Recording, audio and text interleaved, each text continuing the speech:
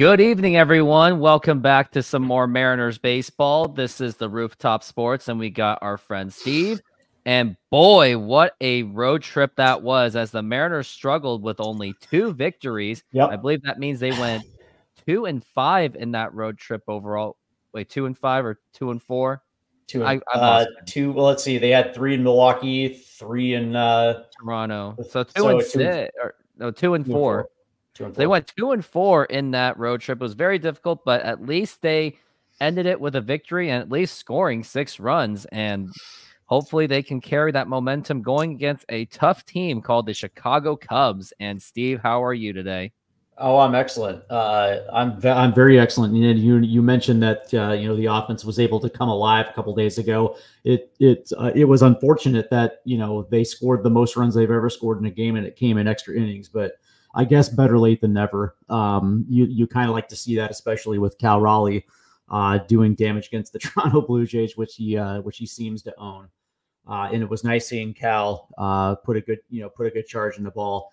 Um, a lot of a lot of good things happened in that 10th inning uh, which was uh, you know which was very encouraging to see and you're just kind of hoping hopefully there's going to be some carryover into tonight's game against chicago not exactly the greatest series for the mariners but it's not it's not exactly impossible that the mariners can get their first series win uh, it starts tonight against jordan wicks uh, uh, you know a lefty that uh, you know he does throw the sink uh, and you know it's it's his strikeout pitch. But you know the one thing about Jordan Wicks is he has the ability ability to expand the strike zone. His best pitch is a change, and so uh, if Mariner, you know, if Mariner, uh, you know, if the you know Mariner hitters are looking for fastball, chances are pretty good they're not going to get one.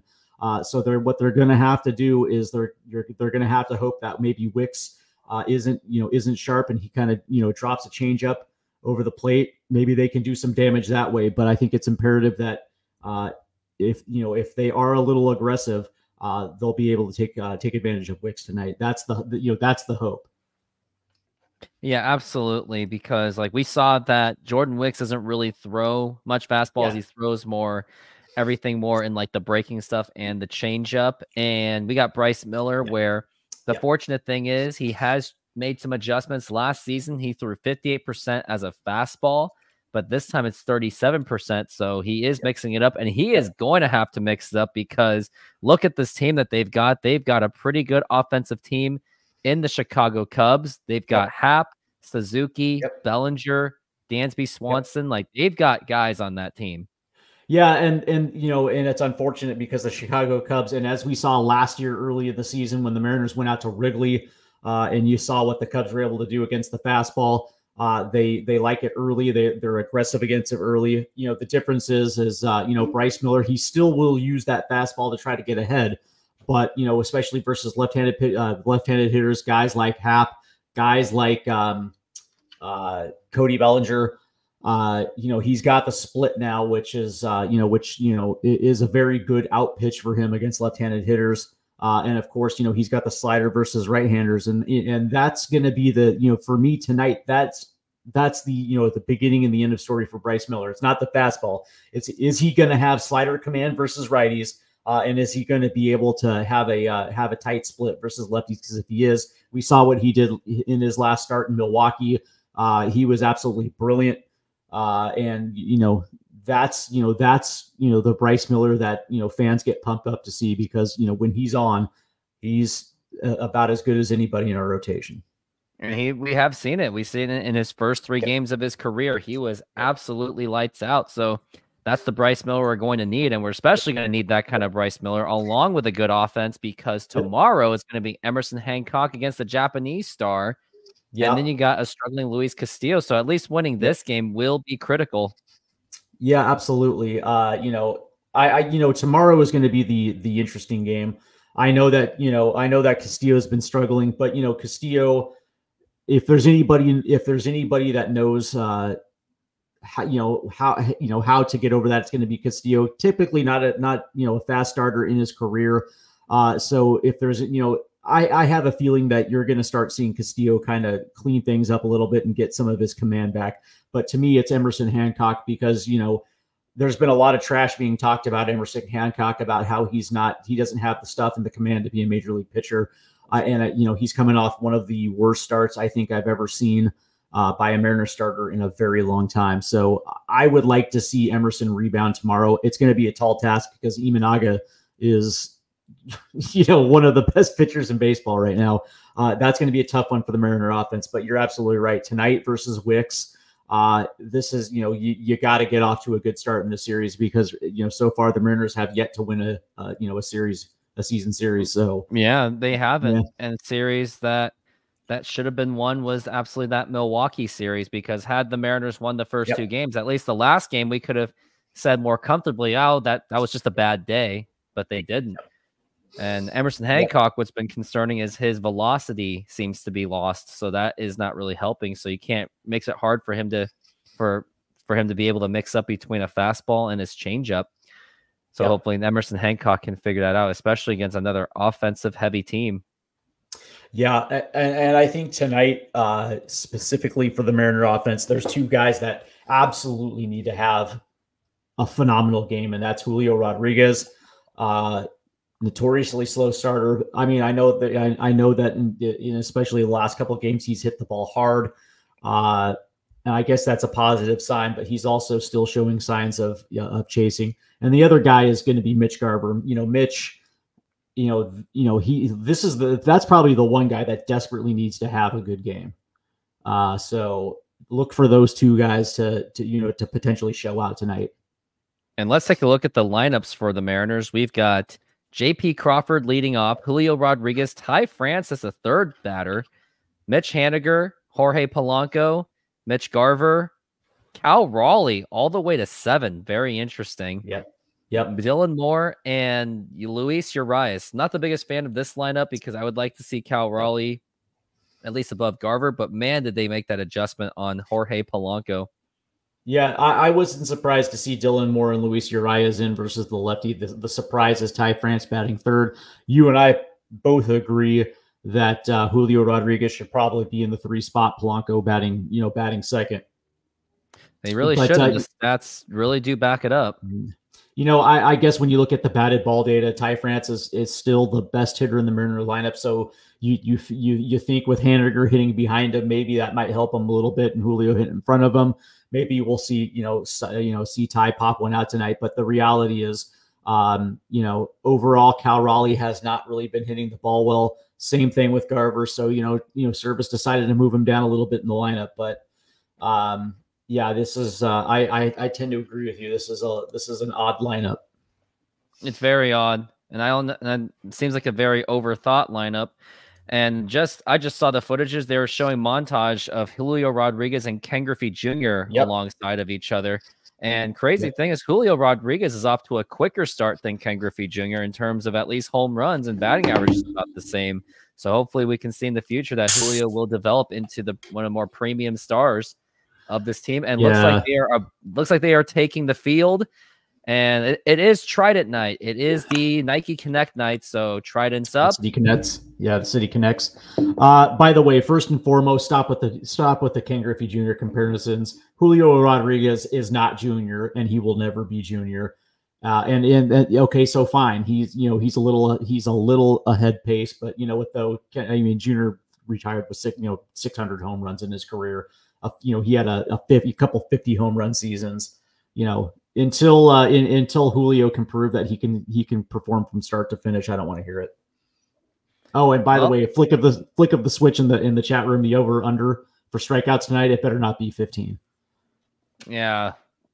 They should, I wonder if there's a betting line on that. And Chris, how's it going? Thanks for joining. And looks like more and more fans are coming in, so that will be great. And looks like they're showing Bryce Miller stuff. And a lot of people can say what they want about Apple, but I really do like how they present it. Maybe I don't like necessarily their personalities, but I do like how their visual presentation. Like they really don't disappoint with that. I got to be honest with you. I've never seen a I've I've never seen an Apple uh, broadcast, so this is going to be new for me. Um, but um, yeah, I have no like who are by the way who are their commentators? Is it like what the, Matt Matt Matt Vasgersian and I don't know. The killer guy is Dontrelle Willis, the man with the weird oh, yeah. windup. Yeah, yeah, the D train. Yep. The D train, yeah. Yep. 2003 Marlins. And now it looks like we've got Ian Happ. He is up to bat right now, and this is going to be brought to you by the first pitch. Will be brought to you by SeatGeek. And now here's the pitch. And now here's a fly ball to right field and looks playable. We've got Haniger. He is there. He makes the catch, and that was a very towering pop up. And we got mm. one down. SeatGeek use Rooftop Sports for twenty dollars off. We got two games coming up. We got a big homestand. Also, save twenty dollars to get that Ken Griffey Jr. bobblehead for the Cincinnati Reds. So use my promo code to save your twenty bucks on food. Yeah, you know it. Uh, why am I not surprised that the uh, Chicago Cubs come out swinging? You know, they are first pitch team, aren't they? Yep, first pitch fastball, and uh, you know Happ takes a cut, and uh, that is going to be a ball. You got pregame total eight. What is I don't know what that is, and that is Suzuki. He is off to a good start. He has twelve RBIs, batting two ninety eight. 12 RBIs, and you know we're a week into the season. That's uh, a weekend. That's, that's not, pretty insane. Yeah, that's if that's not a hard hot start. I don't know what is. Yeah, Suzuki through 91 games, batting 249. He's been on fire since August 8th of 2023. So he's going to try to keep that going. And here is the pitch, and that is fouled away, and that is going to be a 2-1 count to Suzuki. His reach, his on base reaching probability says 34%. It's really interesting how Apple comes up with all these analytics and put them all together in presentation. And now we are looking at the 2 1 pitch, and here it is. And that is fouled away. And that was hit off of the mask of Cal Raleigh. No Seby Zavala. And looks like there's Craig Counsell, 10th season as a manager from Milwaukee and Chicago. Yep. If you're wondering yep. who Craig Counsell is, he's the man with the very abnormal batting stance, but it was catchy to look at at least. Yeah, but it was also effective as well too. If you remember uh, Craig Counsell as a player, that dude get hit a little bit. And now here's a pop up, and that is going to go to JP Crawford, and he makes the catch, and we got two down so far. There he goes, quick, quick two outs, and it doesn't look like uh, it doesn't look like uh, uh, Miller is uh, wasting too many pitches. He's going right after him. He's he is going right after them. And now we've got the big boy. We got Cody Bellinger, which some Mariner fans, including myself, say that we should have got him because they got him on a he, the Cubs got him on the cheap to extend him. So we'll see how Bellinger does. He's now batting 191, and that is going to be a strike. And that was an 81 mile an hour. Looks like that was a splitter. Seven pitches in for Miller so far. He has two home runs, 10 RBIs. That is Cody Bellinger batting 191. He bats well against the Mariners usually. and now here is the pitch. And that is outside for a ball. We're looking at a one and one count. He is Bryce Miller is mixing it up this time. He does not want to go right sure. after Miller. But look at in T-Mobile has three homers, a 1.4 OPS. So yeah. he will be dangerous. Yeah, he can. Now here's here. the pitch, and that is up high for a ball. Looks like Miller's just trying to pitch a little bit away from him, trying to get him to chase things. Yeah, but you know, if you notice on the uh, the first offering was a split low of the way, that's going to be his bread and butter. Uh, yeah, but of course you're going to try to stay away from Cody Bellinger as much as possible. The last thing you want to do is let him pitch, and that is inside for a ball three and one. That was a 96 mile an hour fastball. I wonder if either Miller's just going to take the walk or is he going to go right after him or try to get some breaking stuff on him? And we'll find out in just moments. And now here's the 3 1 pitch and that is ball four, kind of predictably. So that will be a, a base on ball for Cody Bellinger. We got a man on first. Napoli, the first base coach. That must be Mike Napoli. Still nothing, nothing so far. Up to the plate is going to be Morel. Morel is batting 298 right now. Now here's the pitch. And that is a strike. That was a nice little fastball right there. Absolutely. Christopher Morel with three home runs, 10 RBIs. This is a this is a stacked Cubs offense, it looks like. Here's the pitch, and that is low for a ball. Anyone who's wondering how the Cubs are doing this season, they are now seven and five, two games behind the surprising leading Pittsburgh Pirates. Yeah, you know, but I think they just uh, they they're coming off a series loss uh, as well too. I think they lost two out of three to the uh, Padres. And that is a swing and a miss. And now it's going to be strike two. Now you can notice that Bryce Miller did go much more aggressive, is going much more aggressively on Christopher Morel. Yep. He is plays, looks like he plays mostly in center field, playing third base this season, it seems. And now here is going to be the pitch, and that is outside for a ball. Morel is third base. Yep. Cody Bellinger is center field. Craig Yep. Counsell, they're showing him on the camera, who has been a part of two World Series victories, and he scored on both of those Yeah. runs. Florida Marlins. Here is the 2 2 and a swing and a miss, strike three, and that will retire the side. Very smooth inning for Bryce Miller. We go to the bottom of the first. It is going to, it is nothing, nothing, and a quick word. SeatGeek is a mobile ticketing app for sporting events, concerts, and other events. They make the buying experience easier by the app ranking each ticket from 0 to 10 to see if you are getting a good deal, and you can see exactly where you are sitting. I regularly use that app, and I have had nothing but a fantastic experience with SeatGeek. Use my promo code Rooftop Sports to get $20 off of your first purchase. Link to the code, app, and website will be in the description, so take advantage, and thank you. Yep, use that SeatGeek promo code. I don't think I really have to say much because I've already said it. Thoughts on that first inning, Mr. Steve?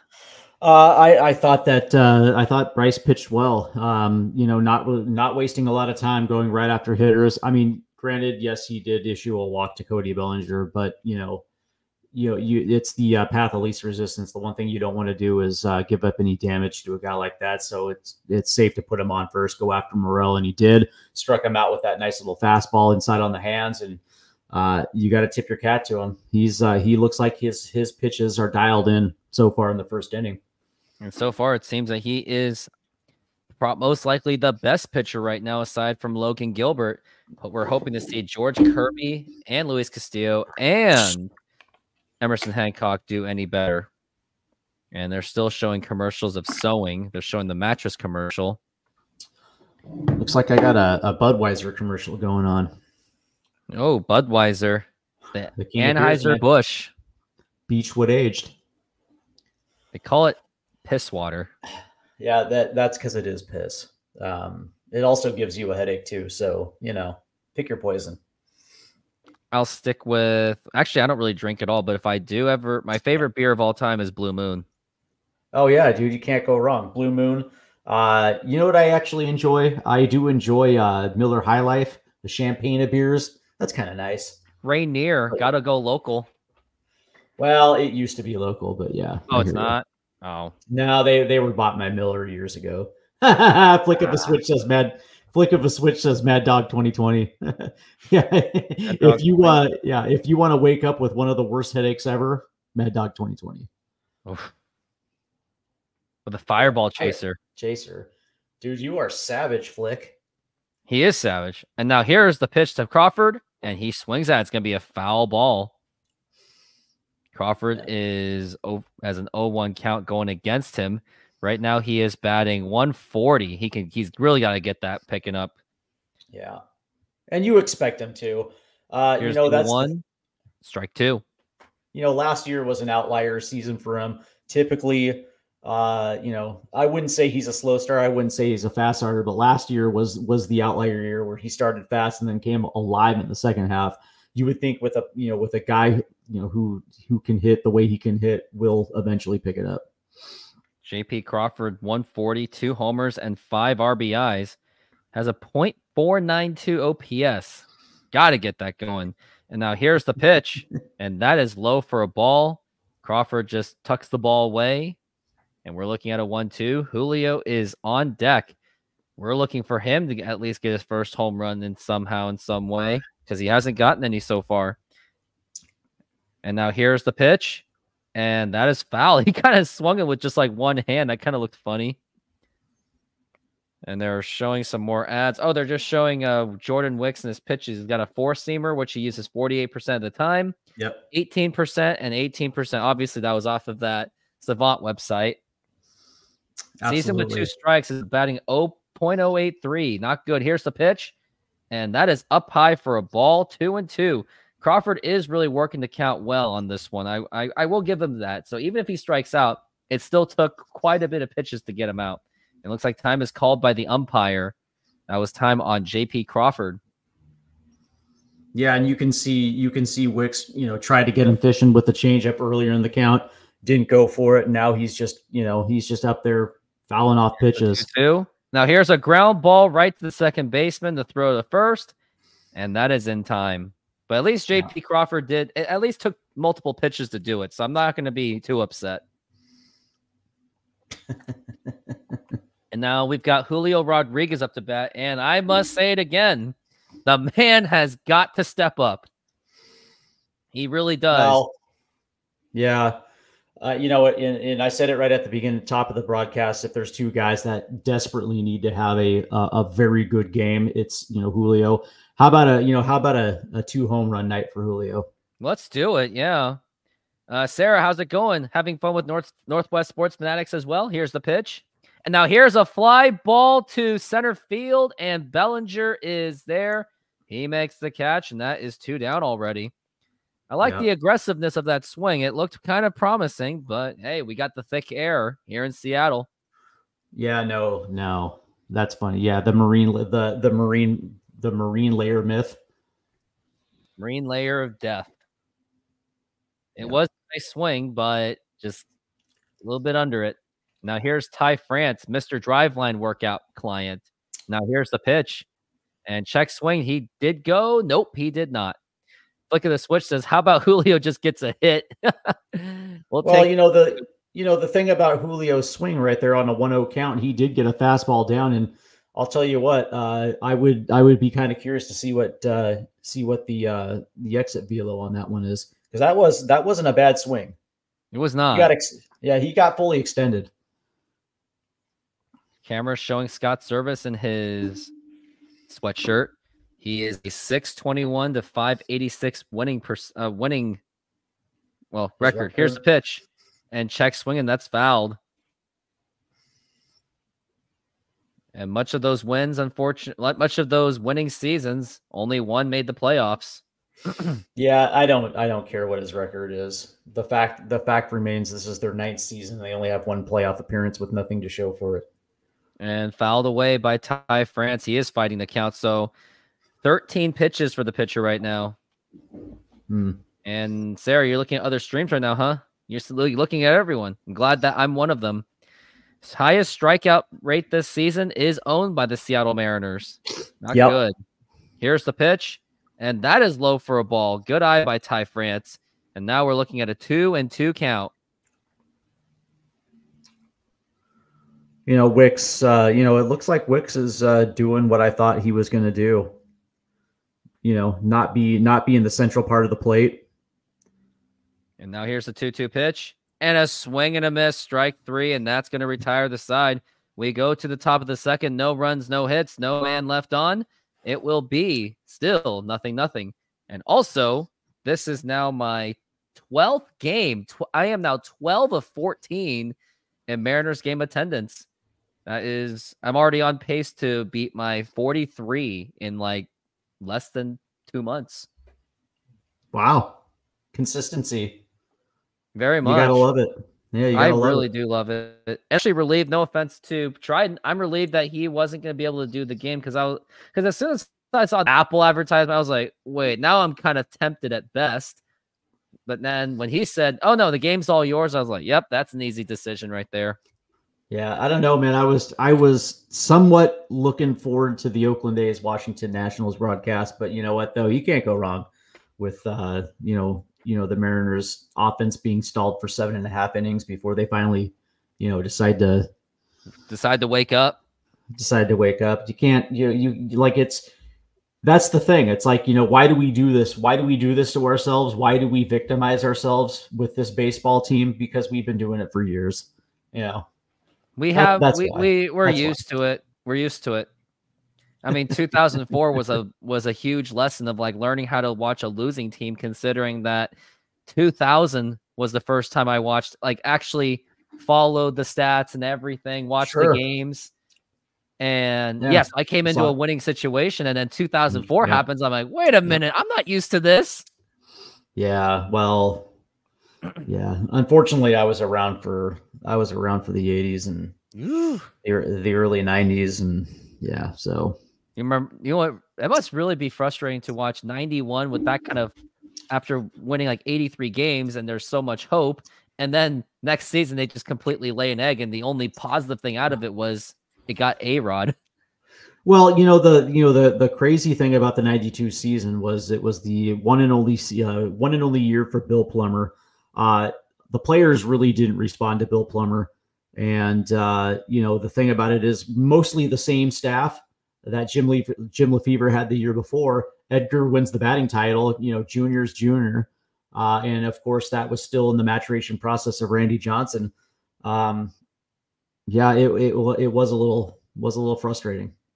And now here is Bryce Miller, and he's going to pitch. And now here is the pitch. And I looked up that Kevin Mitchell trade. It came at the cost of trading away Mike Jackson. So that's why I think it does. Oh, Christian, you're a Cubs fan. That's right. You're from Chicago. Well, go Mariners, but your presence is welcome yep. and bring your Chicago friends here too. Now here's the one. And, uh, and of course, strike one. We ended up getting Mike Jackson back later on down the road. And then Lee, Man. Lee Pelekoudas goes, he doesn't fit our financial future for 97, so we'll let him go. Yeah, he goes to Cleveland. Uh, but uh, you know, he came back uh, in the in the uh, early 2000s. So here's the pitch and swinging a miss. Wait, Mike Jackson came back to the Mariners in 2000. I don't recall. Yeah, he was a he was a part of the uh, the 2001 bullpen. No, that was Charlton. Charlton no, came Charlton. back in 01. Yeah, he did too. He did. Wait, too. Mike Jackson? No, I, we got you got to look that up. yeah. Because I remember 2001 with photographic memory. And now here's the one two pitch, and that is just inside for a ball. And Hannah, thank you for being on this show as well. Oh, you know what? Oh, you know what? I'm I'm thinking about Arthur Rhodes. My bad. Arthur Rhodes. Yeah. Yeah. My bad. A train. All good. Now here's the 2-2 pitch. And now here's a fly ball to is that gonna be Mitch or Julio? And that's gonna be Mitch, and that will make the catch. Bryce Miller, yeah. yeah, he really has improved his stuff compared to last year because last year was a very predictable one-dimensional fastball pitcher. Yep, yep, and he got hammered quite a bit, especially going into September. But now that he's mixing it up, like yep. now yep. it makes you feel good that he is there our fourth option, and our fourth option is one of our two best pitchers in the team. And now let's see who is up to bat. It is going to be Busch. Michael Busch is up to the plate. Yeah. So so let me ask you, are you are you a fan of Busch or are you a fan of Busch Light? None. now here's the pitch. Takes a lot to convince me to actually drink if you're talking about that. Michael Busch is batting 270 with two home runs and seven RBIs. So still a very stacked Chicago offense. Yeah, yeah absolutely. Now here is the pitch. Now here's a line drive. Oh, caught by Ty France. Nice catch by Ty France. Good reflexes. And now we've got two down. I thought that was going to get through for a base hit and at least a double, but that's what Ty France prevented is a double or extra bases. Yeah, you know, and and Ty is a phenomenal defender, and, and, I think that's you know that's been the greatest part about his maturation, not just at the plate. And also, he did it with his bubble gum not even mm, popped. That's even yeah. more impressive because yeah. chewing gum and physical activity ain't easy at all. And now here's the pitch, and swing and a miss, strike one. Yeah, that was a great that was a great play. That you know, it, you, you know when you when you think about that play by Ty France, and it it, it probably did save a double, but the way that uh, the way that the momentum was carrying Haniger over, uh, you wonder if whether or not that was going to be a single. And now yeah, an 0-2 count already. Bryce Miller pitching very well so far, at least for now. Jackie Robinson Day coming up on April the 15th. So I assume everyone's going to dress in 42s. And now here's the 0 2. And here's a line drive, and that just gets right over. That was a Texas leaguer. Those are the biggest killers. Those are the most deadly hits, I think, in the game. Is those little bloopers where it's like you can't really yeah. do much about it. JP Crawford yeah. tried. I commended the effort, but it's just a tough one to get. You know, and it in in in the crazy thing, it's like you know, it, it, was, you know, I, I would probably assume that was in on his hands and he just kind of fisted it over the head, you know, fisted it over the head of uh, JP. Oh man, Flick, you're so savage.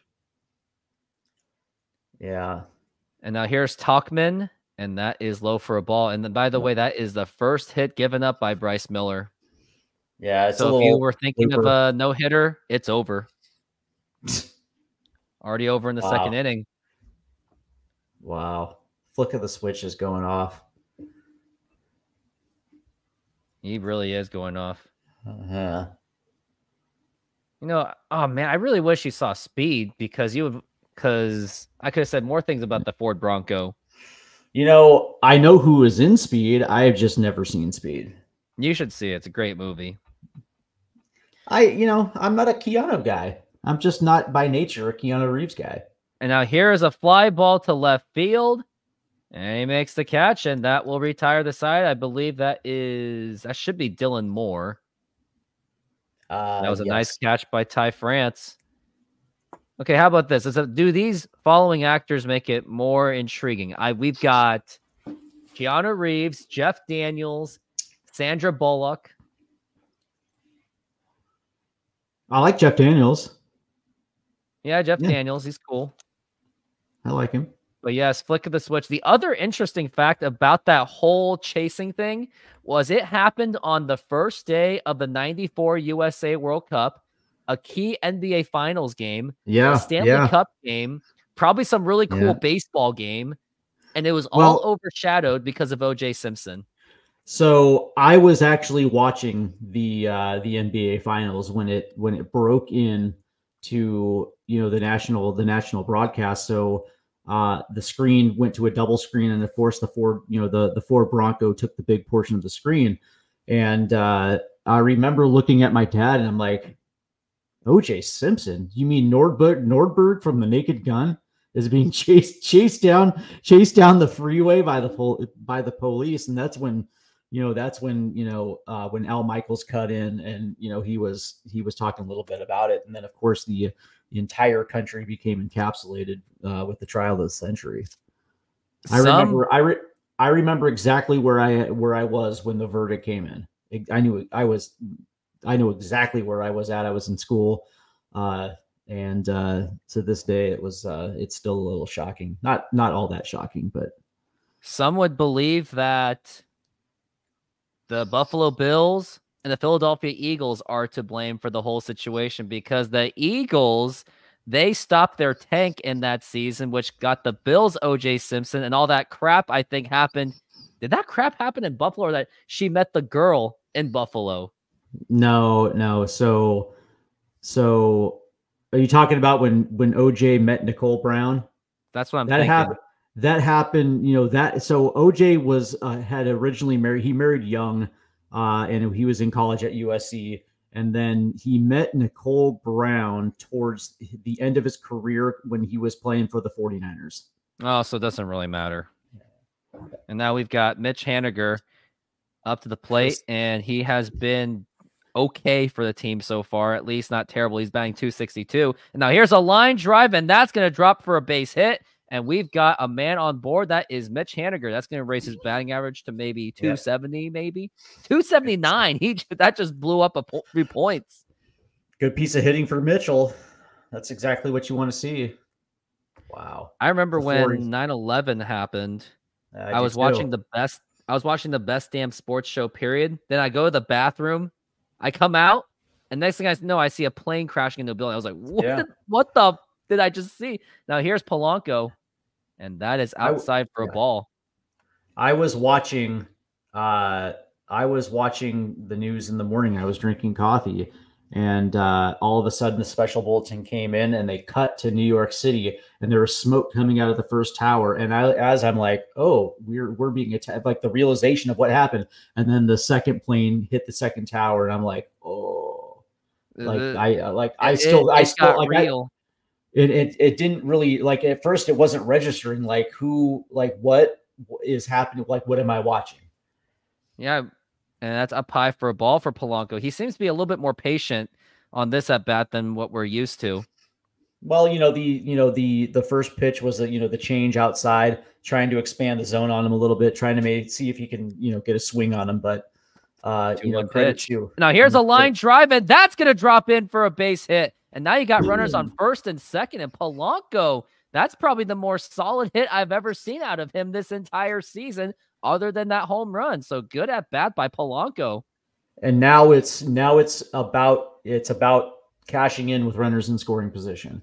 The you Mariners have it happen. Yep. You get the first two. You get the first two on, and now you get uh, what uh, you get Garver, uh, hey. and uh, this is yeah, this is uh, a big moment for Garver here. Yeah, this is why I think I wish uh, Cal Raleigh was up there. And how here's the pitch, and that is going to be low for a ball. Mitch Garver has not really done much this season, batting 167 with yep. two RBIs. I mean, it's better than Tommy La Stella at least, but it ain't saying much. Or Cooper Hummel. Yeah, yeah. That, you know, is the 1 pitch the, outside for a ball. Isn't that the always? isn't that always the go to the Tommy La Stella and Cooper Hummel?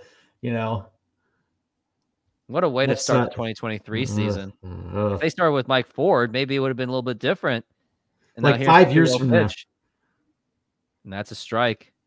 You know, like five years from now, we're still going to be talking about Tommy La Stella and Cooper Hummel. Hey. hey, hey, as long as they don't win a World Series or make the playoffs. And now we're looking at a 2 1 pitch Strong to Garver. And check swing. Did he go? Yes, he did. I was like, man, what a not a good swing attempt right there by Mitch Garver. Mitch yeah. Haniger is just like, come on, Mitch, get me home, dang it. You're yeah, you're you're uh you're giving a bad name to the Mitch, you know, to the Mitchell you really are. And now we're looking at the 2-2 pitch on the way. And that is up high for a ball. And if he takes a walk, I will actually have a I have a reaction video for you, Mitch Garver, if you do make it on base. And it's gonna be a lot better than he gets on base. So please walk because I have something for you. Garver is working at a full count, 25 pitches in for this pitcher for Wicks. Now here's the pitch. And that is ball four. Take your base. Now we have the bases Boom. loaded. And Mitch, this is for you.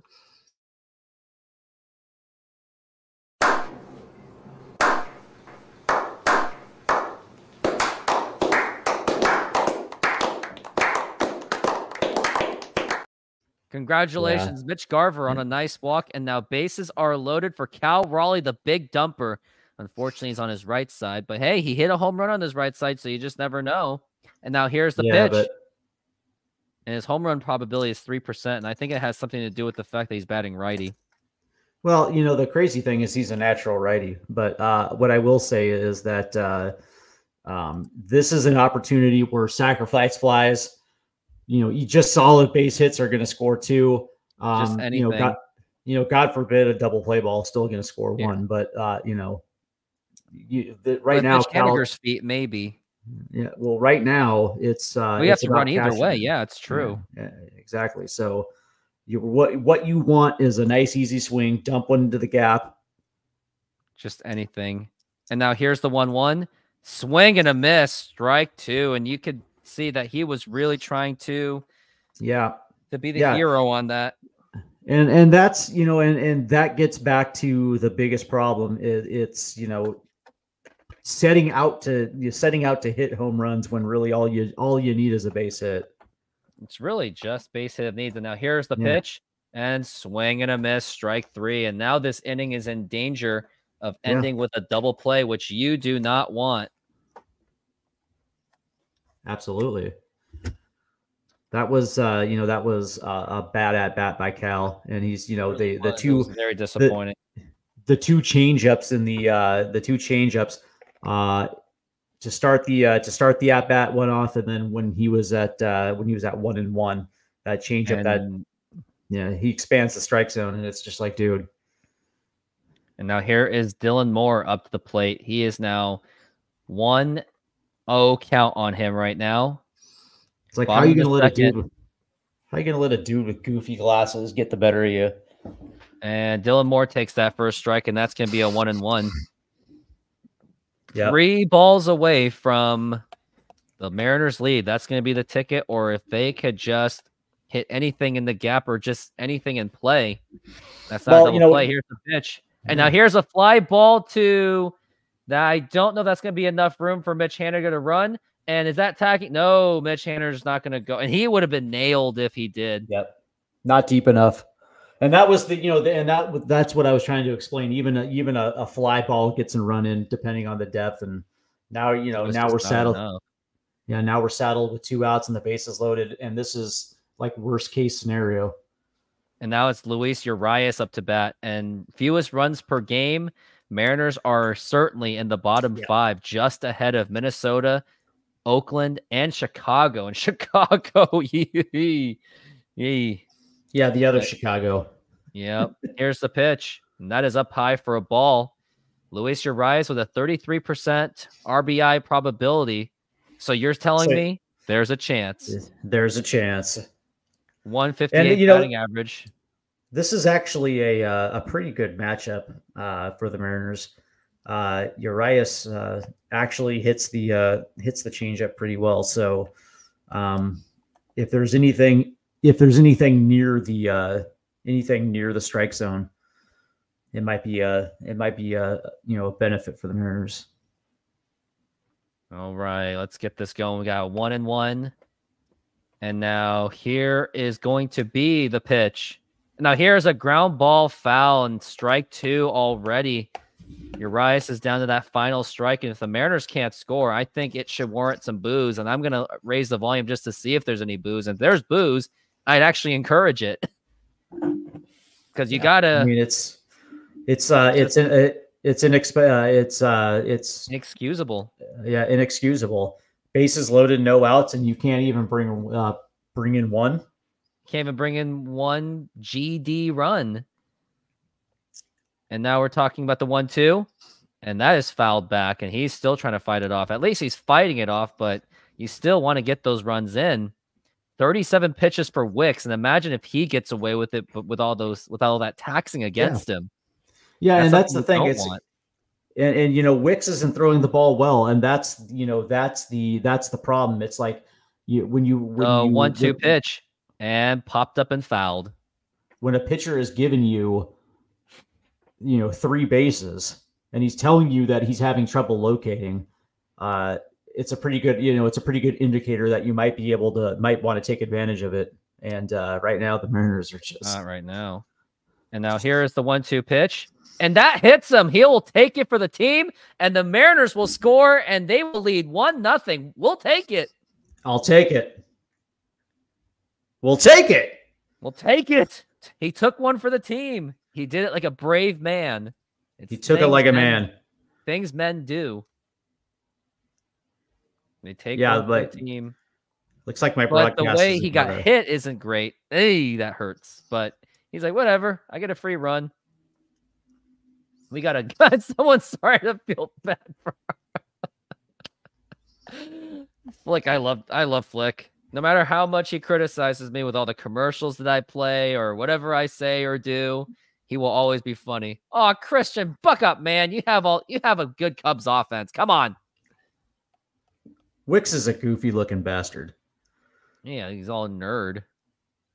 You know, when I was in high school, I was even rejected by nerds to be in their group. I, I didn't even Okay, have a I group was in high say- school. I was like, oh, okay, so so you were you were dating members of the chess club I, I the chess club wouldn't have accepted me. damn. I was like just my individual self. Now here's JP just- Crawford. you were just living your best life Yeah, and, I, and looking back on it, I think it was awesome. Like, you know, sure, I had like one or two friends, but it's not like I was like sure, sure. specific in a group. Now here's We, uh, JP Crawford with a oh. 1-0. we had the same group of friends all the way since like the fourth grade and through junior high and high school. It was like me and three dudes that were just absolute baseball geeks. It was excellent. It was it was excellent. And now we're looking at the 1 1. And now here's the pitch. And that is low. And JP Crawford is, as of now, working on a really good count. He's on a two and one count. Hopefully he can still work it. And that's 42 pitches already for this guy. Yeah, And they're now- they're just they were just showing the uh the hit by pitch to uh Urias. Here's and the I- he- pitch. And check swing. Oh, he fouled it. Fouled it into the glove. JP And, uh, shouldn't have. It wasn't even a good pitch to swing either. Maybe he thought it was going to come down or something. No, I, I think he shouldn't have swung at it any- anyway. JP Crawford kind of regrets that. Now we're looking at the 2 2 pitch. And now here's a ground ball and right to the third baseman to throw to first. And it's in time. And we go to the In top of the third. Although Mariners kind of squandered the bases loaded, but they still got an RBI out of it. One nothing Mariners.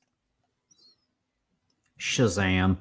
Shazam. And let's play my other advertisement because a minute breather is needed. Modern Exterior Solutions is a fully licensed and insured full service exterior renovations company serving Seattle and East Side communities. We know that a home is one of your most important possessions. That's why we're committed to providing high quality, affordable home renovations for each customer's individual budget. We're diverse enough to meet the challenges of any project you put in front of us.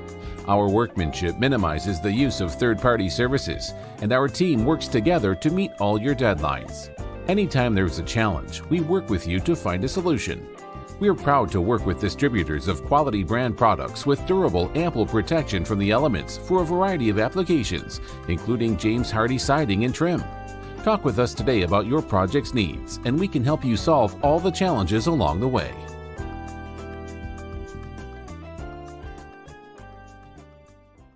If you would like your home to be improved, use the promo code Modern Rooftop to get 20% off. And if you're in Snohomish County and someone calls, if they and if you, you try to call him because I will convince him to go to Snohomish. I will I'll get him to do it. We're good friends. Do it. Do it. Call. do it. Yep. Call. Use the promo code. Get your twenty percent off. Get your roof fixed. Let's not uh, let's not mess around, especially if your roof is you know over a decade old. Take care of it. Don't be a Yeah, that gross mossy roof, totally non-presidential roof. Yeek. What is up with Safori in the chat room? This is uh, oh, she's just promoting wow. my donation Oh, thing, okay. membership, Got it. and got it. she does a lot of like helping out thing, which is nice. At one point last year, she was giving like all the random box scores in Major League Baseball throughout these games. And oh, and we are back from the break. And it's a one nothing lead so far. Should have been a lot more, but hey, we'll take a one nothing lead. But man, that base is loaded. Not Take the lead where you can get it. You can, yeah, gonna have to. Yeah, And Christian, Manny you're right. Machado just hit a home run for me. Yeah, Christian, you're absolutely right. You can't hit the number nine batter with the bases loaded, but he did. So there you go. Yeah. Yep. And now we are looking at Bryce Miller. He's pitching pretty well right now. And now here is the pitch. And that is in there for a strike. It was a 94 mile an hour fastball. and the hitter- The hitter is going to be Yan Gomes or Gomez. Probably Gomes. Uh, look- It's go. It's it, it's Gomes. Yan Gomes. Yan Gomes. And by the way, Yan Gomes was a killer back in his Indians day. He was, was he? And that's a swing that and a is. miss. Strike Mhm. two. Very good fastball hitter. I miss the good old days of names. I miss the good old days where where the the Cleveland baseball team was called the Indians, not the Guardians. I know. That's and here's the miss. 0 2. And a swing and a miss, strike three. I heard that there was actually a copyright infringement when they were attempting to get the Guardians name. So I, I think Cleveland had to overpay to get that name. Could be. Could be. Oh, what was ridiculous? What was ridiculous is there was no pub. There was there was no groundswell uh, groundswell or public outcry to change the name. They just got out in front of it just in case somebody got offended. Yay. So they just like prematured. Yeah, it was. Yeah.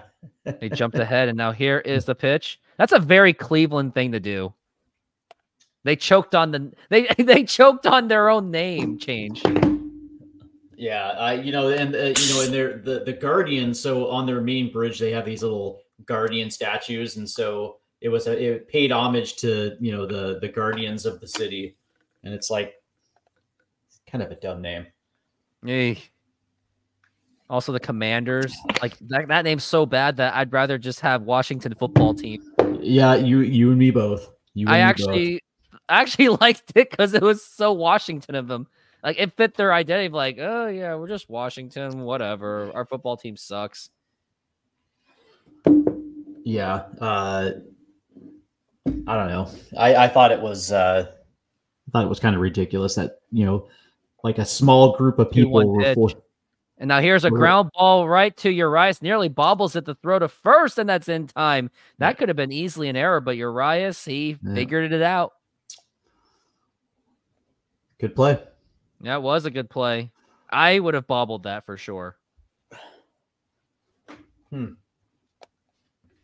But yeah, third base, surprisingly, at least since the Boston series, actually hasn't been one of the concerns of the team.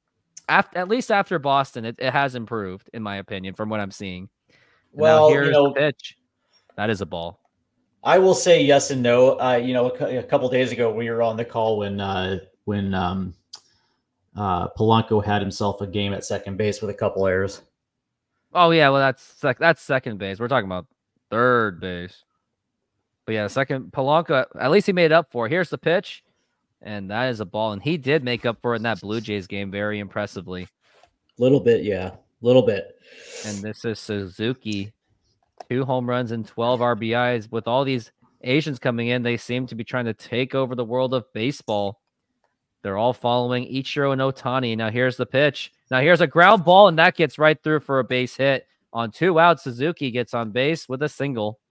Mm, yeah, and uh, he's a he's a he's a dangerous hitter, man. Uh, You you know you think you're lucky stars that it was only a single. It is, yeah, very lucky to be single. And while they're showing the replay, I have already outdid my minor league baseball in views within just two innings because I got championship. I got at most 50 on that on that game. And now here's Cody Bellinger, another dangerous hitter, obviously. And now here's the pitch. And now here's a fly ball to center field, but Julio is there. He makes the catch, Yeah. and that will retire the side. We there got you no runs, one hit, one man left. We will go to the bottom of the third. It is one nothing Mariners still. And they're showing the commercial of MLB the show. They're showing Verlander when he was younger. There's Judge, Harper. Um, they're showing Jeter for a moment. I can't play these games anymore. It's uh it's kind of interesting that uh uh, that Verlander's still kicking around at 40, 41 years old. But you know, that Really being said, is. he's he still has he still has the stuff to be effective. So why not? It's crazy that he- they he left Houston for that contract in New York, and New York was like, "Nope, never mind. We'll trade it.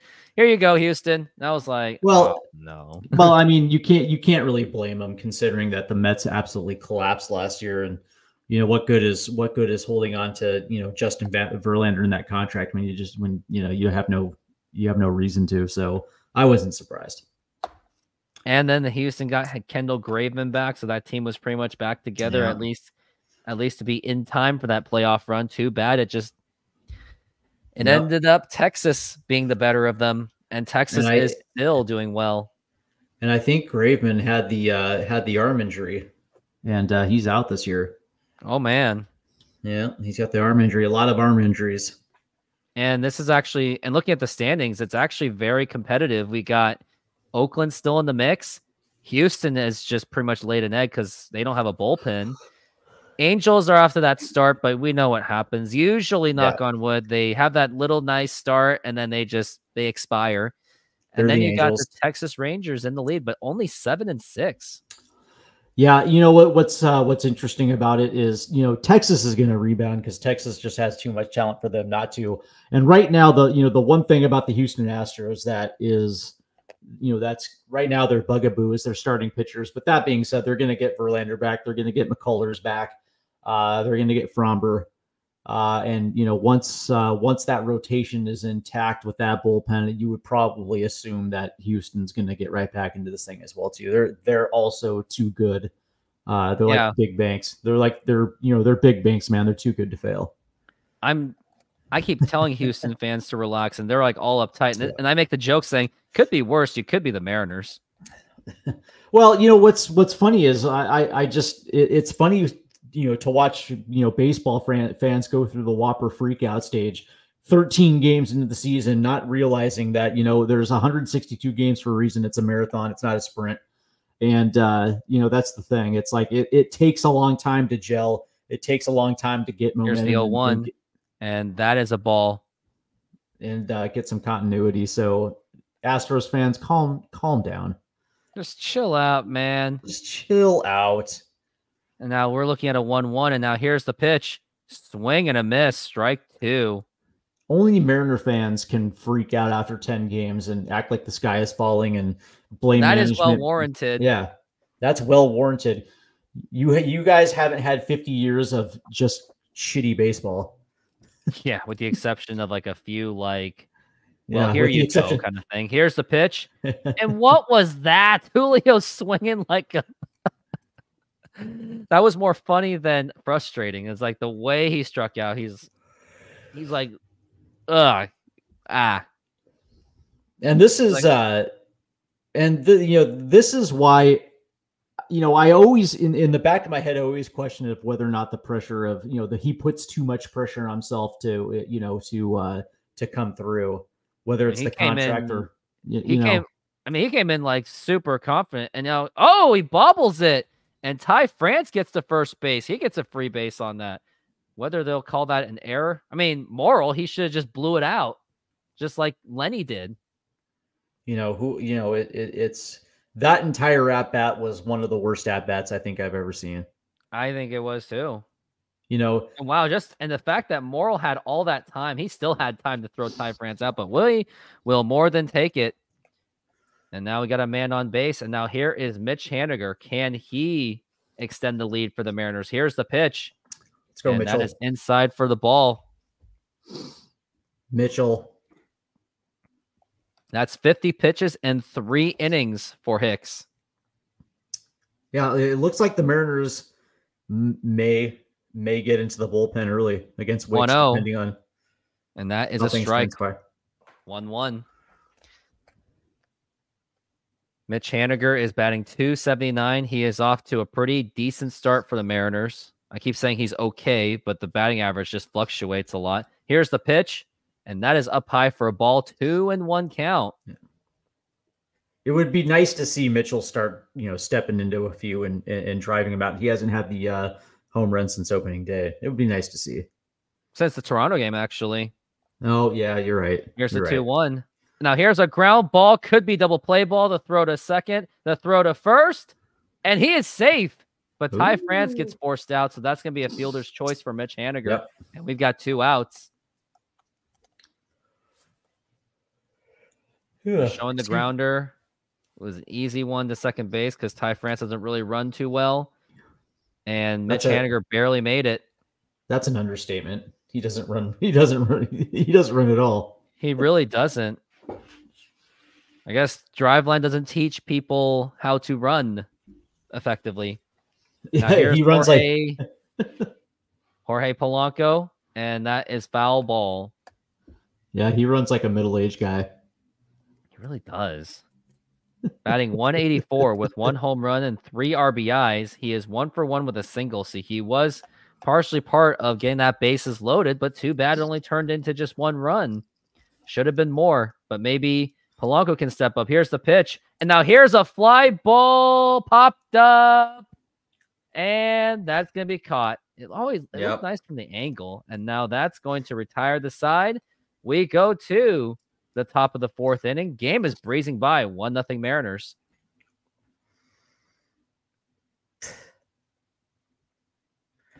bad at bats. Just bad Terrible at at bats. bats. Julio's Yeah. was really bad.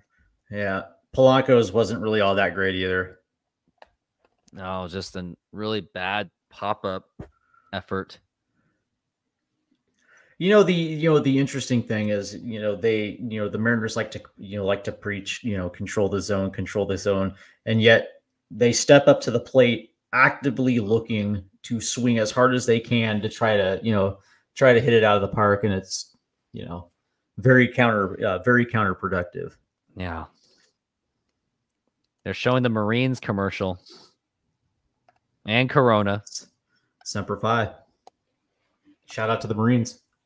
Yep. Thank you for your service, Marines. Keep us safe. Now they're showing Home Depot commercial. Uh, they're showing something. Uh, Climate Pledge, Climate Pledge Arena. Yeah, Climate Pledge Arena, home of Yeah. the Kraken. That's where the old Key Arena is. Yeah, future home to the Supersonics. Hopefully so, because man, are we due for a team? It's been long overdue. And they've been saying it for years and years. They're showing five ener- ener- energy, and now they're Okay, showing there's the, uh, iPhone commercial. Yeah, there's the uh, there's the Corona and the Marines commercial commercials. I'm just a little bit behind you on the stream. It looks like it is, yeah. Yeah.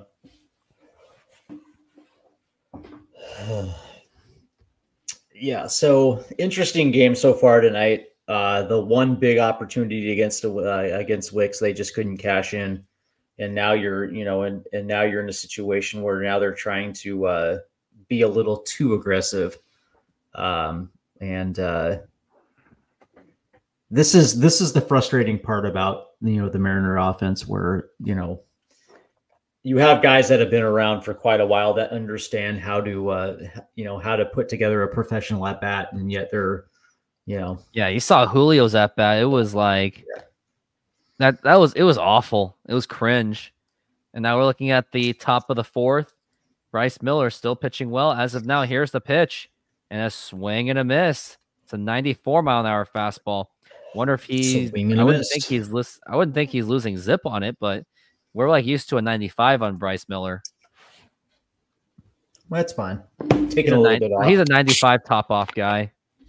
And now here is another pitch. And now here's a fly ball fouled back. And is that playable for Cal Raleigh? And he slips and no, doesn't it would have it man, that that almost hit the dude in the the gentleman in the wheelchair. He didn't even know what to do. I don't think they'll, I don't know if there'll been much away. Now they're showing the replay.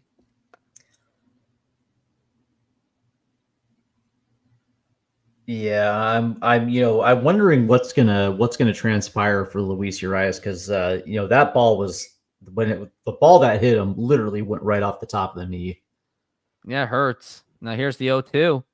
And that is low for a ball, 96 mile an hour. And Bryce Miller tried to, I think, fool him on that pitch, try to get him to swing. Got to use a splitter to make that work. well against the righties you're you're you're gonna see it you're gonna see the slider or the sweeper And now we're looking at the 1-2 pitch. And now here's another pop up and fouled once again. And now we're looking at one and two. 44 pitches for Miller. Pretty efficient. yep yep 42 pitches through the, uh, through the fourth, 10 pitches per inning. Uh man, these uh these City Connect uniforms are distracting. They really are. Uh, Now here's the one two, and that is fouled again. The City Connect uniform I wanted was just get the 2000 Mariners uniform back, the black Seattle ones. I still want them to wear those.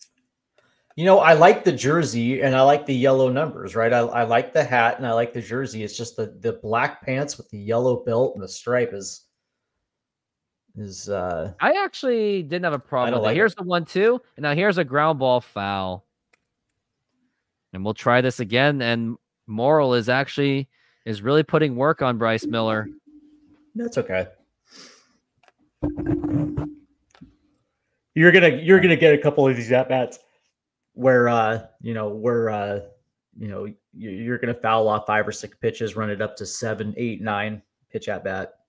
Uh, Chris Morel was kind of upset that it wasn't fair for whatever reason, or maybe is he in pain? Wonder if he is in pain.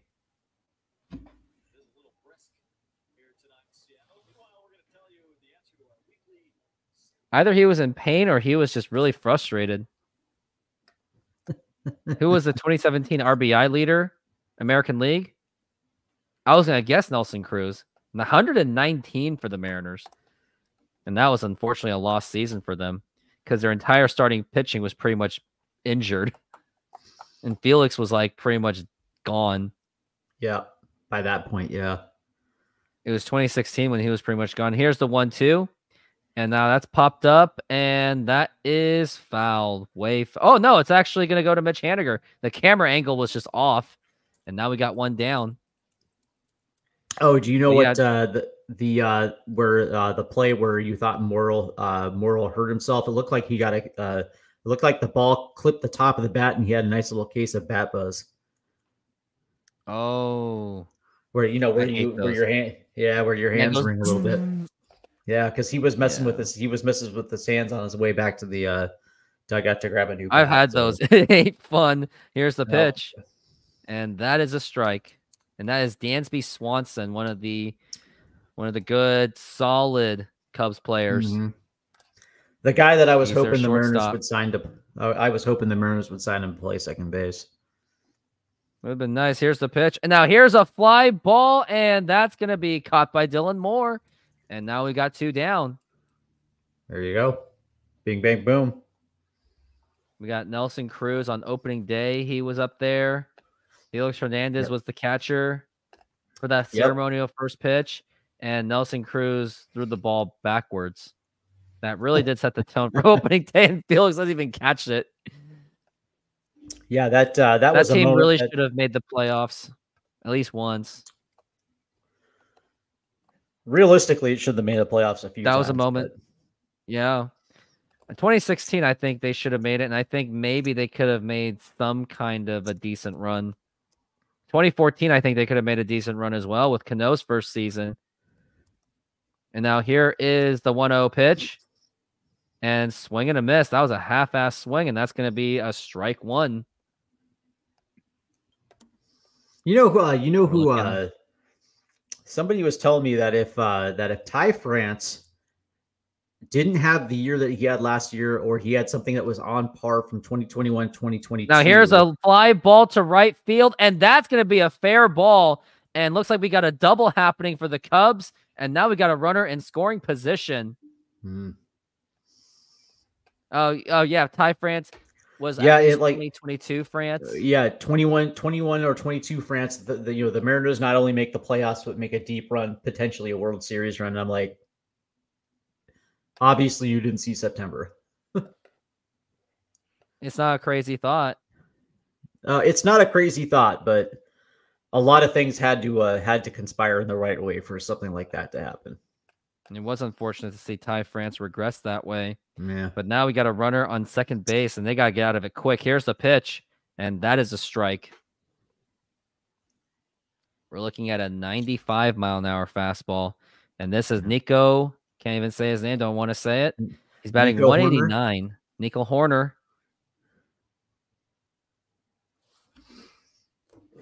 And now we're looking at the pitch. Now here's a fly ball to deep right field, and Mitch Haniger is there, and he makes the catch, and that's going to retire the side. No runs, one hit, one man left on. It is still one nothing, but let's keep getting some offense going. And now I have a question. Now that we're on commercial break, what is the best Mariners team to miss the playoffs? The best Mariners team not to make the playoffs. Uh let's see. A team that was good but didn't make the playoffs. I would probably have to say, well, let's see, because in 96, the following the 95 year, they weren't even close. 98, 99, they weren't close. 2003, 2002, 2003 could be up there. 20, uh, you know, 2021 could easily be up there as well, too. Uh, I I'm going to say, yeah, go ahead. I'm gonna I'm gonna say 2003, uh, because I actually thought that the the 2003 team was a little bit better than 02. Uh, Offense was that- slightly better. and I least thought Boone that, had the power year. and I thought that they were at one point the best team in the division. Uh, yeah, I, I'm gonna say Randy Winn, 2000 yeah. I'm gonna say 2003.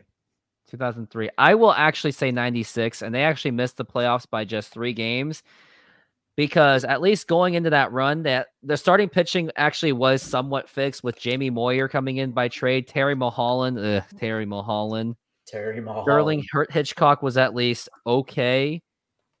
and but they had that offense that really could have at least made some kind of a deep run. Sure. And sure, the yeah. bullpen wasn't exactly like the biggest disaster. Yeah, they finished 85 and 76. Uh, and uh, you know, but that's you know, when you look at when you look at the the pitching. Now you have to remember 96 Randy Johnson was dealing with uh he was dealing with issue. yeah, the uh the herniated disc issue in his back and he was gone pretty much the majority of the year.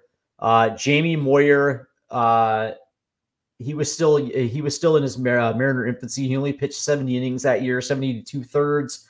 Uh, but when you looked at that rotation, uh, and then you looked at the bullpen, you can understand why that team failed to make the playoffs. I, I don't know. Like when you stack it, when you stack it, I thought, I thought the 2003 pitching staff was better, and I actually even think that the 2021 team pitching staff was a lot better than 96. Yeah, that's fair. Oh yeah, pitching. Well, any pitching staff's gonna be better than any of the '90s pitching staff. Yeah, you know, and and don't get me wrong, the the the the the best thing that the 96 team had going on was the fact that they played 81 games in the Kingdom and they had, you know, they had Junior, A-Rod, and Edgar in their lineup. So all in ones. Yeah, yeah. and all Yeah. in their absolute like best too. Like they Yeah, were putting yeah, up right in their prime. numbers. yeah, right in their prime. Dan Wilson even almost hit almost 20. And now here's the pitch. And that is outside for ball three. Garver's actually working the count very well in this game so far. Yeah. And I think uh I think Buhner also hit Buhner 40 hit that 44. Yeah. And he actually yeah. batted above 270. Yeah. Now here's Buhner- the 3 1. Swing and a was- miss, and he got fooled. That was the you know, Buhner had a three year stretch where he hit 40 plus. He hit Right in the middle of, yeah, right in the middle of the 90s. And then his and then injuries just got him. Finally got him. Mm-hmm. Yeah, by After all 2001. Yeah, yeah, by Yeah, he was 2001, done. he was he, he was a shot fighter. Yeah, Now here's a 3 2 pitch. And that is ball four. Take your base. That is a second walk for Mitch Garver. And Mitch Garver, I got something for you, and it's going to be a little bit better this time. Why do you like him? because he gets on base. He really does it. He finally did it. And RBIs, he was actually the third in RBIs for postseason. Mitch Garver, just behind Yordan Alvarez, and of course, Adolis Garcia. And he was something else. Here's the pitch, and another and a half-fast swing by Cal Raleigh, and that's going to be a strike one. yeah, probably on the change. I would probably assume, considering that's what he struck. Uh, considering that's what he uh, struck out with. Also, Ron, how's it going? Nice to meet you. And now here is the pitch, and another swing and a miss. And Cal Raleigh is just not taking good at bats. He's just, Oh, I love- playing too aggressive. I love the Dipoto crowd. Hated Alex Cora. Don't you mean Joey Cora? Maybe he actually just hates Alex Cora. I don't know. Yeah. Oh well, yeah, for sure, Mister Sticky. Well, here's the 0-2. And now here's a wild pitch, and that gets away, and Garver will get to second base. I mean, if the Yeah, I Mariners mean- made one trade for a bat, then they would have been a shoe in Yeah. for the playoffs. If they traded for at least Aaron Boone, which would have been really cool. yeah, or- that would have been cool. Yeah, 2003. and a matter of fact, that was the leading into the trading deadline. That was the The the rumor. rumor that the that, that the Mariners would end up with Aaron Boone, and of course he ends up with the Yankees, and uh, of course That's you what triggered Jeff. Nelson. And now here's the pitch. And a swing and a miss. And that was an awful at bat by Cal Yeah. Raleigh, just chasing everything. Strike three. Yeah, the uh, yeah, oh yeah, the The the Jeff Nelson debacle where uh, he uh, he uh, yeah, he pops off at the media and then the next day he's traded to the Yankees. Hey. yep. And then they just completely just collapsed because they were without that fearless leader. Now here's Dylan Moore up to the plate. And now here is the pitch. And that is fouled back. Let's go. I mean, yeah, if they had the playoff format back then, Yeah, yeah, for sure. sure. For but sure. for sure. Yeah, if they had today's playoff format back then, yeah, the Mariners probably would have made the playoffs a few times. Uh, Pringley, my boys. you better be the Pringles. what? You better be the actual Pringle CEO or something, because uh, I could use some Well, let's work a deal or something. Yeah, I want some free samples, man. You got the Yeah. uh you got the uh the cheddar, the cheddar Pringles. Those are pretty good. Pringles are lethal. Once you pop, The fun won't stop. And now here's Dylan Moore looking at an 0-2 already. Here's the pitch, and that is low for a ball. here's the question though, right? Is is our Pringles chips or are they crackers? That's a that's a fine line, isn't it? It is, right? No, it's too late. Who is this guy? Whatever. Dude, Now here's the pitch, And nobody was asking ball. you. Oh, we got another. If I was a CEO, I wouldn't even look in your direction. You lost me. Good lord. Good lord. Now we're getting all Actually- the. Actually, you know what? I'll say this. Here's if he was pitch. the s- If he was the Pringle E CEO, yeah, like you probably would want to pay attention, you know, to the to your consumers. You know what I mean? You know the the the uh, the people that actually buy your product. You probably want to you probably want to know how they're doing. here's the pitch, and that's outside for ball four. And Dylan Moore There you go. gets Dylan on base, like drives. he usually does. Why do you like him? Because he gets on base. How He about did it. them Eagles? No, those Eagles. Remember, the Eagles are so much better than the Eagles. I love that. That was hilarious. The uh the Eagles. This isn't football season, yo. And now here is Luis Urias. Here's the pitch. And that is popped up and fouled. He went on his knees. I mean, better. He was not wrong. It's like the 2017 Eagles were better than the 2005 Eagles because one of them won a Super Bowl. So, so he's not wrong 100. percent That was the uh that was the Nick Foles Super Bowl, right? Yeah, Nick Foles. Nick Foles. And now here's the pitch, and that is a foul ball. Here's a little trivia. Where did where did Nick Foles go to college? Oh, don't even try me. I'm trying you. No, I don't. I don't know. Arizona. Hey, pack, pack. What's with all these pack quarterbacks? And now we're looking at the 0-2 pitch for Urias, and here it is, and that is low for a ball. Good eye. Urias has been doing okay so far, working the count. At least, I will say that he's doing better than Kolten Wong. I mean, that's a pretty low bar to set, but he is. And now we're looking at the one-two pitch. Now here's a ground ball fouled. You know, Kolten Wong was so bad. I literally remember his two home runs. His first home run was against the Yankees, and then the other home run was against the Twins. I remember the one against the Twins. That's when we were like, Kolten Wong's back, and the Mariners are win. Nope, they lost. No, you know the thing about Kolten Wong was uh You know, he was he was Here's due for. He, And he here's a line drive foul. That would have gotten at least one run. That was really close. I actually was kind of hoping they would bring back Adam Frazier. Uh, he had a nice little end to the 2022 season. For all the ups and downs he has, I think he finished quite strong. What did you think of Toro? Because at least Toro, he was clutch at least once in a while.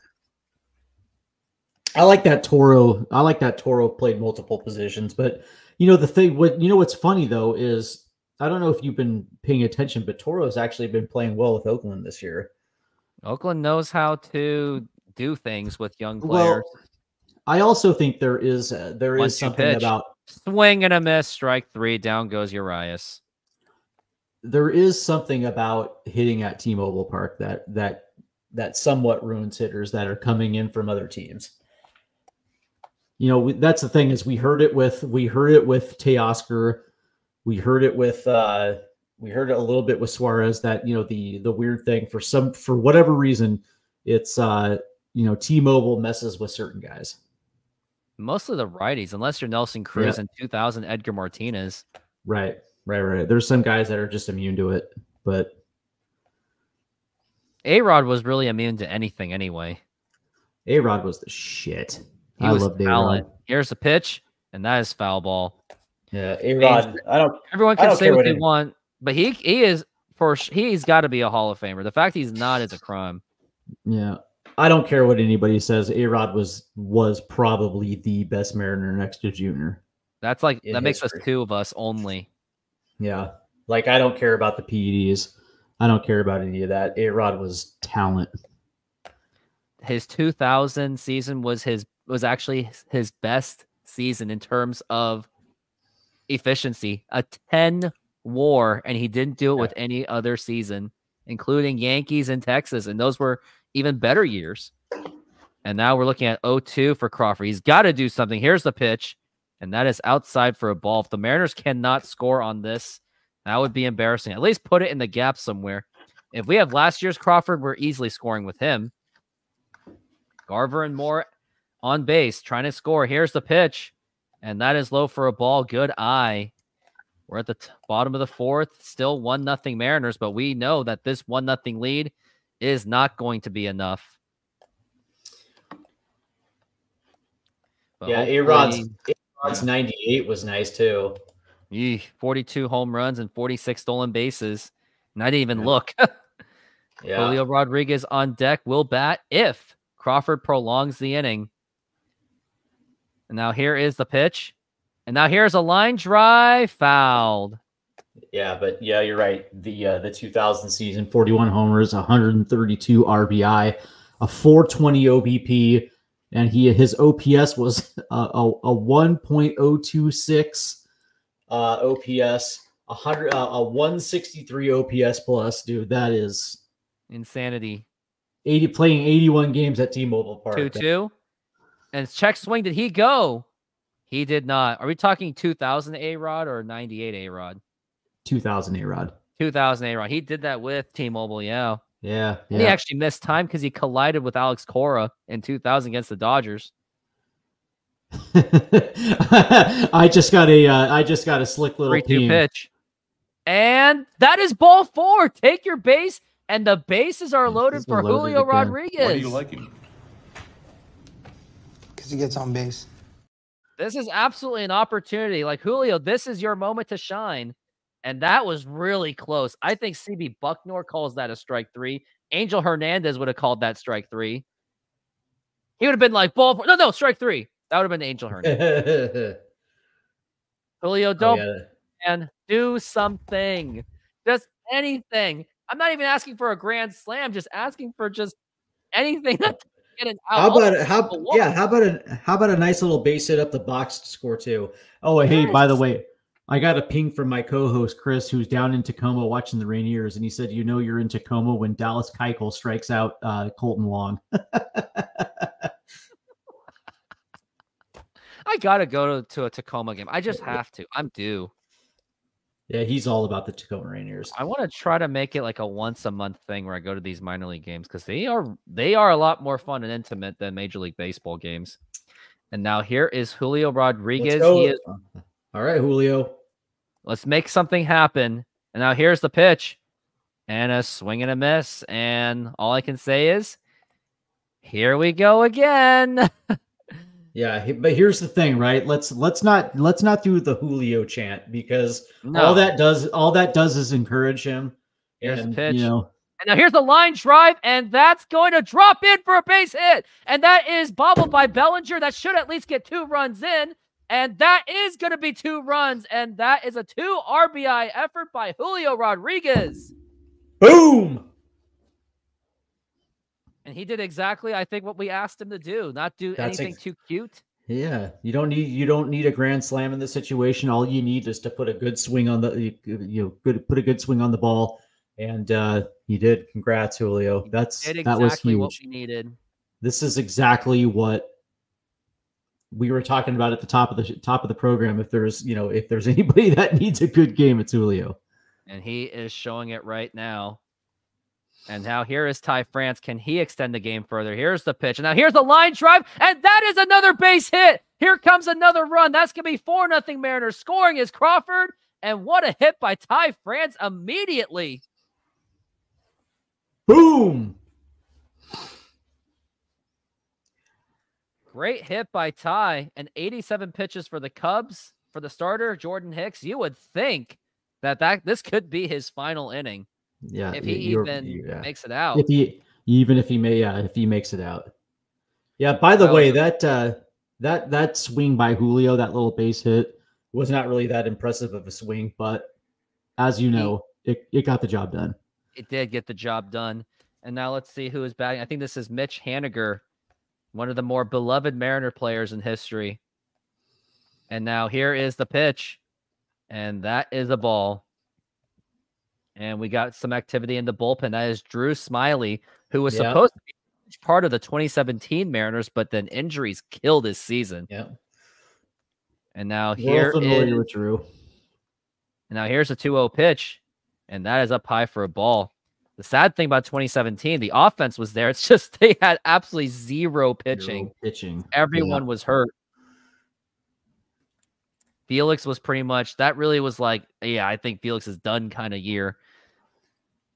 Right. Right. here's the pitch, and that is a strike. And that's a shame some- too, because because Felix was like 28, 29. You know And he I was mean? already Uh, broken. Yeah, it's like you know he like you like people forget that he started pitching when he was like 19, 20. Yeesh. And now here is the 3 1 pitch. Swing and a miss, strike two. And some say that 2015 was the start of his decline because that was the season where he finally struck out below 200 hitters. And that's when at least some people questions like, ooh, Felix is not looking the same. Weight problems. Oh well, that was nothing new because Felix Felix would show up to spring training overweight all the time. He But you know the but the, 3-2 uh, the- pitch. you know, now here's a ground ball foul. Yeah. But the you know the crazy thing though is that you know the Mariners rode him rode him like a horse though. You're talking about a you know a dude that averaged 200 innings pitched for what eight nine years. I feel bad for the guy. He he Yeah. did a lot for the team and very little in return, with the exception of a Cy Young. And now here you- is the three-two pitch, swing and a miss, strike three, and that will retire the side. But however, the Mariners do get four run, uh, three runs in off of a Yep. bases loaded by Julio Rodriguez and Ty France adding to it. We are now up four nothing, and give me a breather because I did a lot of calling that one. SeatGeek is a mobile ticketing app for sporting events, concerts, and other events. They make the buying experience easier by the app ranking each ticket from 0 to 10 to see if you are getting a good deal, and you can see exactly where you are sitting. I regularly use that app, and I have had nothing but a fantastic experience with SeatGeek. Use my promo code RooftopSports to get $20 off of your first purchase. Link to the code, app, and website will be in the description, so take advantage, and thank you. Yep, thank you very Yep. much. And use that promo code if you're planning to go to tomorrow's game against the Mar or against the Chicago Cubs. Yeah, the uh I uh I I did feel bad for Julio in the context that he committed he committed himself long term to the Mariners. Uh, he got the contract, but the thing about it was is that he uh, he never asked to be traded. He never asked, you know, wanted to get out even at Felix. that point of the yeah even at the point of the career when when you would think that being in the playoffs might be something that he might want to experience and go to a contender he never asked for his way out of out of seattle is. And there was a he was point after 2012. I was actually begging Felix to leave. I was like, Felix, just go. You're getting screwed. It's not worth it. And but he was like, Nope, the man's loyal.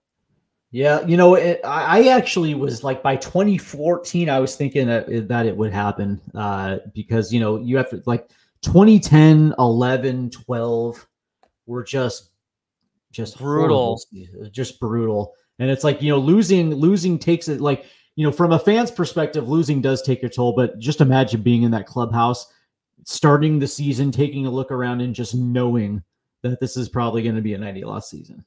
I because you have to like like those are those you know that was the era of mike carp you know what i mean you, you- Mike you're Carp was supposed to be the future. Justin Yeah. Smoke, like there was just- still yeah. upside on that offense. It's just they just couldn't get it together.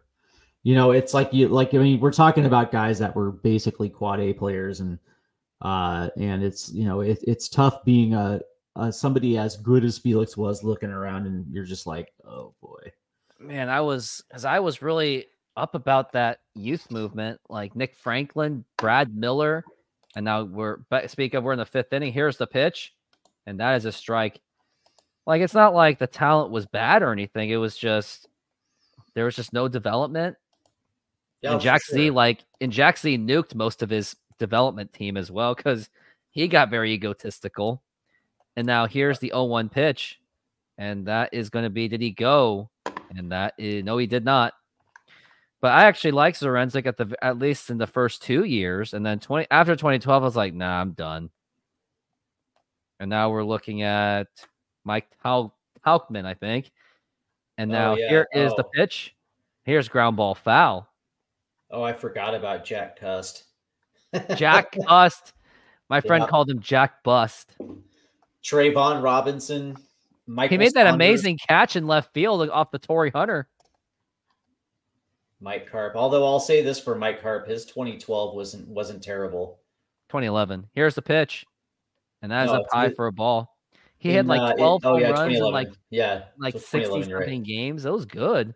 Yeah, yeah, I thought he was going to be So the I- slugger of the team. yeah. 79 games. Yeah. Here's a 2 2. That wasn't And too here's bad. a fly ball to left field. And Dylan Moore, he is there. He makes the catch. And that is one down. And 59 pitches for Miller. Very Wow. efficient. Well, what I like about this is the fact that now that the Mariner offense we're we're you know we're in the top of the fifth, so the Mariner offense did what they were supposed to do, which was you know give give Bryce Miller a three three plus lead. You know what I mean? Yeah. Uh, and then just get, hold get him comfortable. Yeah, just just get him get him comfortable so he doesn't feel like he needs to be perfect. Uh, and uh, I wouldn't be surprised if uh, you know if Bryce cruises cruises. Yeah, just like what we saw out of um, Yeah. Logan Gilbert, where he was he had to play perfect, and Yeah. it was so bad that you couldn't even blame him for that Vlad home run. I couldn't blame him one bit. Not at all. And now we're looking at the 0-1 count and the pitch clock going down. Here's the pitch. Swing and a miss, and a nice swing and a miss job. And that is now an 0-2 count. Now we're at 61 pitches. And the 2012 Mariners, Hannah, they went 75 and 87. And now here's the 0-2. Swing and a miss, strike three. And I remember after 2014, when I saw them getting Nelson Cruz, I was the one fan that looked like how much they lost. They lost Chris Young, they lost Michael Saunders. And because of that, I said, nah, we still don't have it. And everyone's like, but we got Nelson Cruz, but we lost these guys. And it really showed, unfortunately. Oh, I forgot about Casper Wells. I love Casper Wells, the friendly ghost. Now here's the pitch. And that is a strike. Oh, I remember the Jesus Montero trade. Oh, I remember. Uh, uh, cost not Michael Pineda. Michael Pineda. That was I a, like Pineda. that was a bad trade. And now here's the 0-1 because they couldn't get Prince Fielder. Well, they didn't even try to get Prince Fielder They didn't anyway. try. So that was like Uh, their Prince Fielder move. the uh the uh the one that made no sense at all uh well at least the return value was the uh uh was the doug fister trade to detroit Charlie Furbush and Yeah. Casper Wells, and only Furbush Yeah. was the only one that made it out. Fister was Fister was a fantastic pitcher. Mm, And now we're looking at a 2-1. And now Here's the- pitch. That is up high Yeah. for a ball. goes and the other thing that a lot of people should have saw red flags on Zduriencik was when he was reacting to the Albert Pujols signing. He was like, "Wait, what? That just happened?" I'm like, "How do you not know that, or not paying attention?" Well you know any anytime 3-1. anytime a anytime a gm reacts to what your uh, division rival is doing it's a it's somebody that probably shouldn't be a gm and we're looking at a 3-2 count. And now here's the 3-2 pitch. And now here's a ground ball foul. Fister and Furbush, what a combo. If only the Mariners brought back Uh. Fister at some point, and I think they could have in like those, maybe in the Dipoto days. And now we're looking at the three-two, and now here's the pitch, and that is inside for ball four. So take your base. Now we got a runner on first base, and now up Yep. to the plate it is going to be Suzuki, and then after that you got Bellinger. So you kind of want to get out of this inning fast before yes, you do. before things can get out of control because this is a, an offensive heavy heavy team in the Chicago Cubs. Well, and you know Suzuki had a uh, had a nice little single his last time up. odds to make the postseason. They say the Mariners, if you bet uh, if you bet for them, you'll win some money. And that's I did. I did indeed at uh, MGM Grand Detroit. I put uh, I think the Mariners were going off at, at 800 to 1 and I put 60 down. So there you go. If they win the World Series, I'll take home $1200. Do it. And now here is the pitch to Suzuki going to be, and that is a foul ball. As much as I don't like gambling much, I will say I do get really fun vibes out of at least going to a casino just to get the food. Oh, for sure. Food is amazing. It's a great place to just chill out, hang out. I went to a casino for a birthday party. It was a it was a blast. And now here's the 0-2 not- pitch. Foul ball.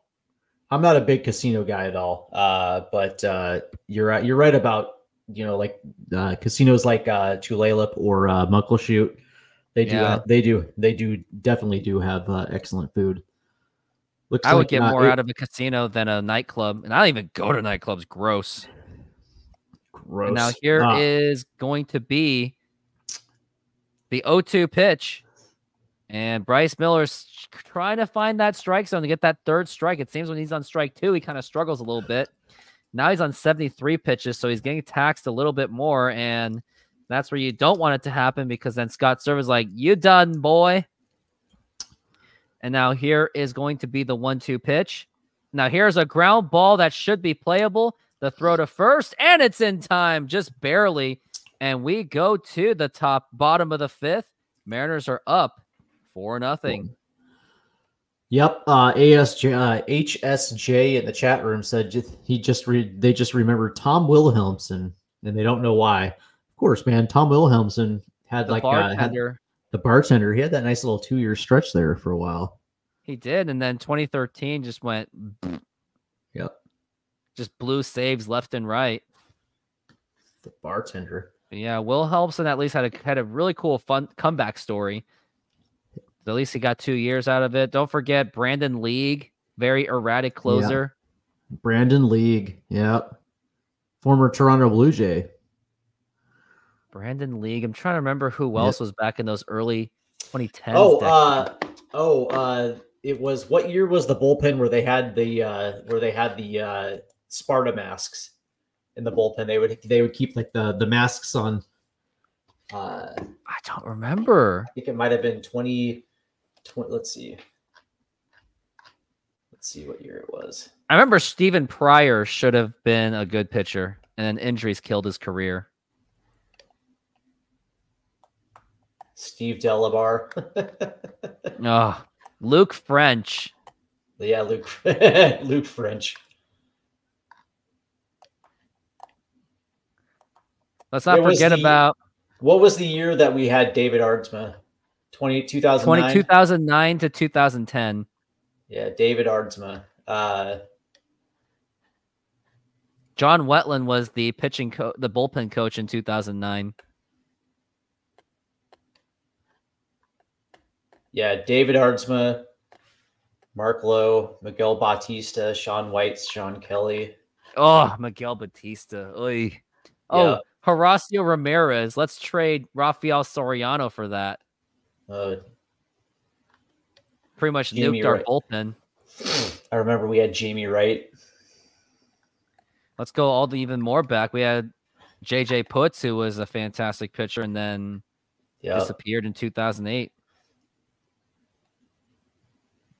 And we are back from the break, and we are in the bottom of the fifth inning. We got a new pitcher in Drew Smyly, the former Mariner who didn't even pitch for the Mariners due to a terrible injury, which took him out for the entire season. And now here is the pitch. I would say that if everyone was healthy in 2017, I think they could have made the playoffs if everyone was healthy. But unfortunately, nobody was. And Felix was on his downfall. And now here's the pitch. And, and Smyly's got that huge curveball. Good to see that Drew Smyly's still hanging around in this league. Yeah, he, he can be effective, man. He really is. Here's the pitch. Now here's a line drive foul. Just foul. Just foul. And we're looking at a one-two count for Jorge Polanco. You know that you know Drew's got you know Drew's in that little uh long man One, two. situation. Up high for a ball, two and two. Got 25 viewers right now, 11 on YouTube. And let's take a look. And here's a pitch, and that is a foul ball. Already crossed a hundred in just five innings. People really came in for the because of the whole Apple thing.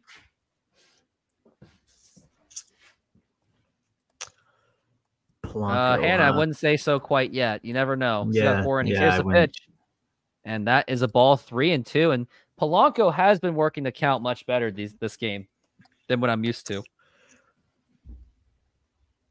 Absolutely. Uh, and here's the, the you know, 3-2.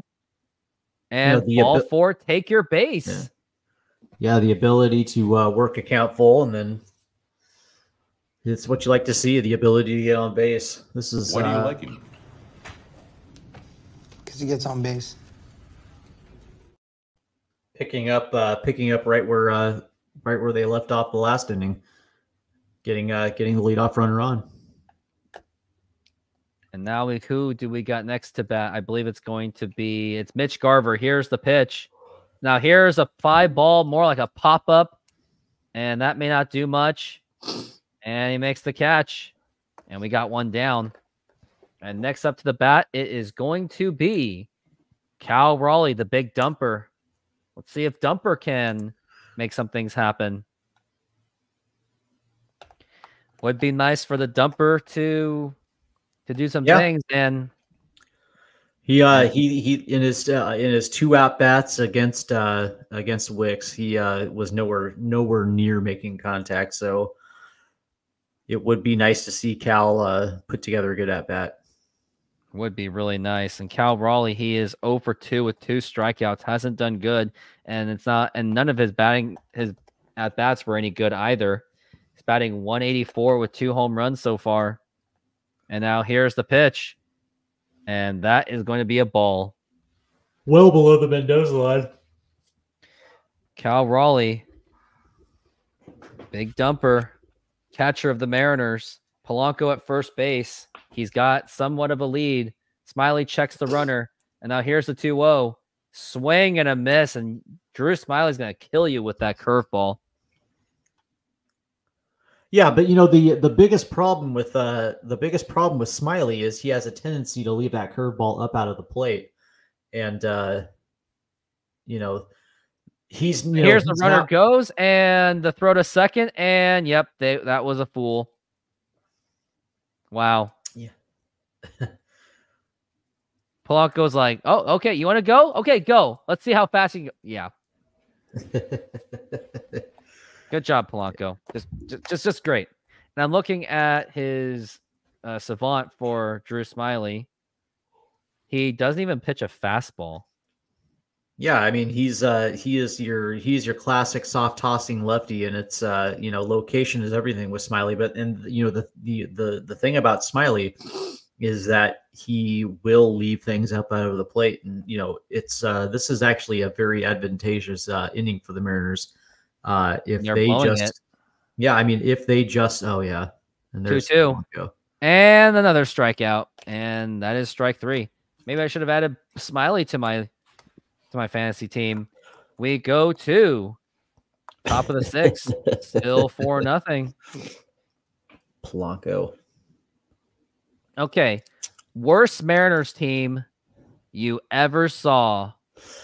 The worst Mariners uh, team I ever saw. I would have I'm- to say I would have to say, and I think this might be an easy one. Uh, and don't get me wrong, I think it, I think it's easy to say the 2010 2010 season with all the expectations after the uh, the Cliff Lee the Cliff Lee trade. A lot of people thought that the Mariners were gonna, you know, be that sheep pick to uh, to uh, you know make the playoffs, and they they bottomed out. Although that was a really bad team.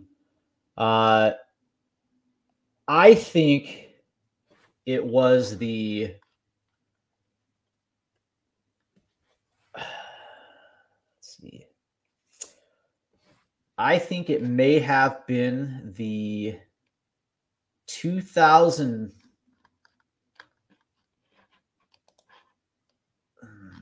I got my answer already, but I'll I'll I- say it once you it- say it.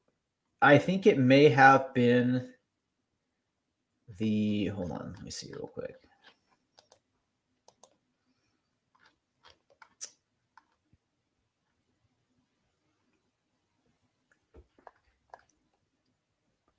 Hmm. It may have. Well, yeah. I guess I'm gonna say 2010, uh, because you know 2010.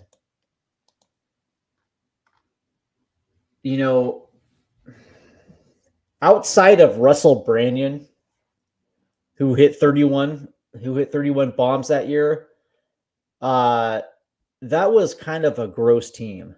The 2010 team, Rob Johnson behind the plate, Jose Lopez, Yuniesky Betancourt, Vladimir Balentien, Fat you know, Griffey. Frank- yeah, Franklin Gutierrez was decent. Uh, yeah, that and that was the year. Uh, that was the, you know, the, uh, you know, the um, year that Griffey uh, Griffey took off. ish. Uh, 2010 was when he took off when he just fled the. But Now then here's like hold on. We got we're back from the break. Here's the pitch, Yeah. and that is a strike. yeah, it was it was Adam Moore behind the plate, Casey Kotchman at first base, Chone Figgins at second base, Josh Wilson at short. They Oh. moved Lopez. They moved Lopez to third, and he wasn't much better there. Michael Saunders, Franklin Gutierrez, Ichiro was still obviously Ichiro was still Ichiro, and then Russell Branyan. They moved to the DH, but then you know, that was the year they got Milton Bradley. Jack Wilson was on that bench. Matt Tuiasosopo, Ryan Langerhans, uh, and then uh, you know the 0-2 rotation. was- pitch. Up high for a ball. you know the rotation was uh Felix Hernandez, Vargas, Fister, Ryan Rowland-Smith was in that rotation. The hyphen. David, yeah, David Pauley. I would say that that probably that probably like when you look at just the that roster, And now here's general, a line drive and caught by Crawford. yeah, that was that was an ugly roster. Do you think it was uglier than 2008? Uh 2008 was pretty ugly. But you know, I think wasn't the what was what year did we get Jose Vidro? 2004, 2007. 2007. Okay. He was decent in his first year, but I'd say 2008 was the worst because you you lost with a hundred million dollar Yeah. payroll Yeah. And had all the and they lost- expectations. Mojo's rising. right. Here is the pitch, and that has popped up. And this is the funny thing about 2008. Kenji, you know, you had Kenji Johjima, Richie Sexson hit 30. Oh, hit a let's see, yeah, this was the bad year. Uh yeah, Kenji Johjima, Richie Sexson, Jose Lopez, Yuniesky Betancourt, Beltre, Raul Ibanez. So there, there was your 20 home run hitters. Jeremy Reed, Ichiro Suzuki, Jose Vidro. Their bench was just garbage. Uh, They had Tug- nothing. Tug Hulett was on that. Made it. Made it. Miguel Cairo. Miguel Cairo. Yeah, Carlos Silva, Erik Bedard. Here's the pitch. And no, I thought that was strike three. No, Bedard wasn't terrible that year. but he was injured. He didn't. He didn't have a healthy season until 2011. Right. Uh, only pitched in 81 innings that year. Carlos Silva, that was that was pretty bad. Washburn was pretty bad. Washburn was a terrible signing. Yeah, was Miguel already washed. Miguel he was already washed burned. Oh yeah, And that here's that the one oh, too. Here's a ground Oh, ball yeah. right to Urias to throw to first, and it's in time. Got two outs. I forgot we had Ryan Feierabend and Cha Seung Baek. Cha Seung Baek had like one good season. Uh, I forgot about that. I forgot about Cha. Um, Raul Ibanez. How many U's are in Raul? Eight. Sometimes eight, sometimes three, Nice. sometimes seven. Sometimes ten. I've actually met Raul. He's not exactly the easiest person to talk to. He always sounded like he was on edge. Here's the pitch. Yeah, I can see that. I can Strike. see that. When I was uh when I was working at Best Buy, I saw him and like when I started talking, to him, I didn't even acknowledge him as Raul Ibanez. I was like, "Hey, how's it going?" And he's like, "Hey, do you have this? I hope you do." I was like, "Whoa!" It was scary. Easy there, Chopper. Uh, you know the funny pitch. and that is a strike. I used to run into Ryan Rowland-Smith at the Starbucks in the Soto right across the street from Akrina on First Avenue. I would, dude, I would, I would, I would run into Ryan Rowland-Smith a lot. And uh, Tell you what, man, uh, nicest Here- dude you'll ever meet. Yeah, but that's a. I'm trying to crash into Rick Rizzs because I know exactly which place he goes to. He lives in Issaquah, so hoping Yep. to like yep, yep, he sure does. hoping to connect with him at some point. Tell me, hey, I do play by play too. Uh, yeah, Rizzs is Rizzs is awesome. I uh, when I uh, I had credentials. Yeah, credentials.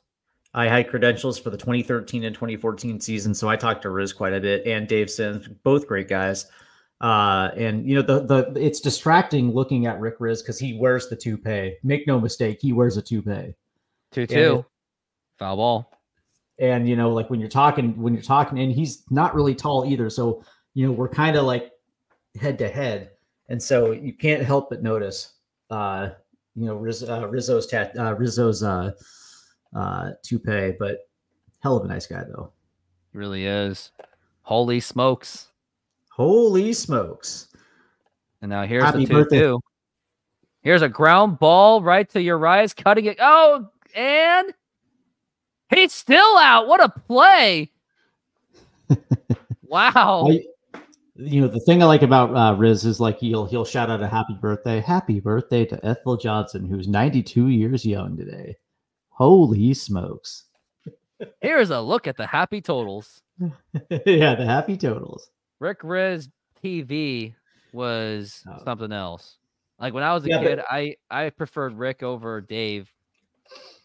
No, the the great one was uh was Captain Obvious, Ron Fairly. Ron Fairly was Captain Obvious. He was the he was the color guy to Dave Niehaus on the uh, on the TV Yeah. and on the TV And that broadcast. was belted to the deep left field, and the Mariners are down. Yes, you can tell. You can tell that was that was really hit, really, really dang good. Yeah, yeah, it's funny. He was like, uh, uh, he was like, you know, with a runner on third base, you know, and a base hit, he'll be looking to score. It's like, yeah, well, no shit. yeah, but Ron was also a great guy too. Uh, I, I I had good times talking with Ron Fairly back in Ron, the day. Fa- Ron Fairly, and then oh, Dave Henderson was the most chill. He's like, yeah, and after this walk, there's an opportunity for the Mariners to do something substantial. I just realized that like half the people that we grew up with are gone. Like Henderson's gone. hmm Uh, see now, if you know, old school Mariner fans will m- remember the name Ken Levine. I don't. So, so uh, there was a time where Rick Rizzs left the Mariner organization. Like I think this might have been like the late 80s. early- No, it was it was before that. It was like in it was like in 90, 91, somewhere around there. He went to Detroit for a couple of years ago and did the radio play by play for the uh for the Tigers. And in his in his absence stepped in Ken Levine. And if you know anything about Ken Levine, he was the guy who was the main writer on the TV show MASH. He was a TV writer, but he was also a uh, he also did the play by play.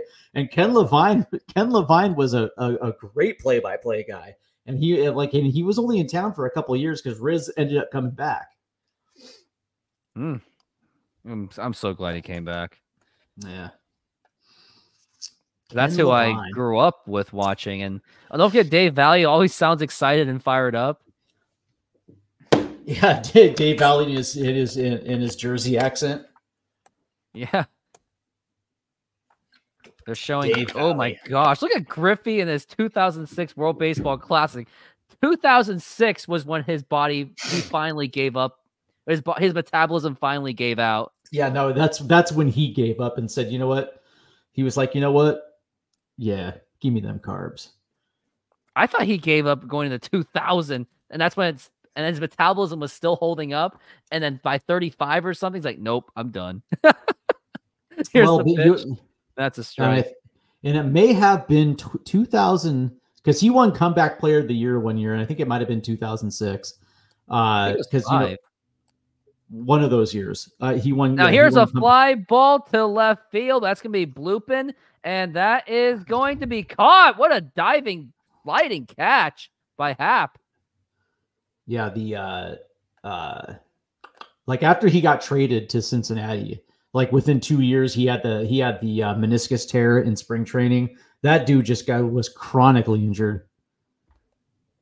Some say, do you do you believe this that his work ethic wasn't exactly the best, even with the Mariners? Some Well- say that, and the Kingdome turf didn't help either. Yeah, but and then you he know play, that- he goes to Cinergy Field with also an equally horrible turf. Well, but that being said, though, the only time Junior really seriously got hurt, it wasn't, you know, it wasn't a leg injury. It wasn't, you know what I mean? It wasn't one of those injuries. Uh, it was the, uh, you know, it was the hand injury in 96, uh, 95. But, you know, that's the thing. It's like, you know, he seemed, in, in most of his Mariner career, he was durable. That was the one thing that he was. And then for whatever reason, it was like a flip, flip, you know, flip of a switch. But that being said, it also could have been that when he went to Cincinnati, he got that new contract as a part of the trade. He ended up signing that new contract. So that also, And we got two Some- outs, by the way, on a pop up by Luis Urias. And the other thing is he also didn't have Jay Buhner and Lou Piniella to like keep him accountable. that that also could be as well too. But some players do get paid and stop trying. And here's JP Crawford. And now here is the pitch who struggled. And now here's a ground ball. And is that going to get through? No. And the throw to first. And they drops it. That's got to be an error. That's not going to be a base hit. But JP Crawford gets on base. And that's how the last time that was like similar to Griffey's last at bat. He got safely off of an error by Justin Moore now. And I hmm. remember like they were like trying to tease the fact that hey, maybe Griffey can have just one more game-winning home run, and everyone's I like, remember- "Nah, it's not going to happen." I remember Ken Griffey Jr.'s last Safeco Field home run. It was 2009, 630 against Texas, and it just it was like a line out, a line home run. Yep. Now here is Yep. Julio, and that is a ball. Yep. The funniest part was when he just drove off with two Mountain Dews, and then Jay Buhner's like texting, like, "Dude, where are you?" Chances are he probably didn't even answer that text message. I'm sure he probably did. I, I'm sure he did. Those two are Oh, you think so? He's like, yeah, those. "Hey, those where are you? tight. I'm going to my in Montana. I'm in Montana. at a gas station." Yeah. That was the wildest. And by the way, uh Larry LaRue was former TNT writer Larry LaRue was the one that broke that story. And uh the Mariners were not happy with LaRue. Pulled his credential. Oh wow. Yeah, they gave it back, but they pulled his cred- creden- they pulled his credential. pretty disastrous year. We're Well, looking yeah. at Yeah. a Poor 2 Don 1 count for Julio. Can he do something? Here's the pitch and a swing and a miss, strike two. I actually liked Wakamatsu. I actually had high hopes for him, but he hasn't really managed since. No, no. My that, you know, my 2010 season ruined him. my favorite post Lou Piniella manager was Bob Melvin. I like Bo Mel. Mine, mine was Hargrove. Yeah, I I was a big Grover guy too. Here's a 2 I kind of I. I was kind I was kind of fond of Eric Wedge too. I liked Eric Wedge. Eric Wedge, yeah. Cons- I would, I mean, yeah. Imagine if Eric Wedge, Hargrove, or Melvin had this team. Yeah, It would have been It a little be- bit different. they would be they would they would definitely be playing a lot different. Now here's the 2 2. And a swing and a miss, strike three. Down goes Julio Rodriguez. He's having a little chatter with the umpire for whatever reason. Didn't think it was necessary, but we go to the top of the sixth inning, still for nothing. Yeah, if uh if if Bob Melvin had this this year's squad, it would be different. Grover is Grover is so old school. Like I I, I would probably think eventually he would get fired by Depo- fired by Dipoto, just because you know he's not one of those type of guys that uh he he he's one of those old school guys that wants to be left alone to do his job. Yep.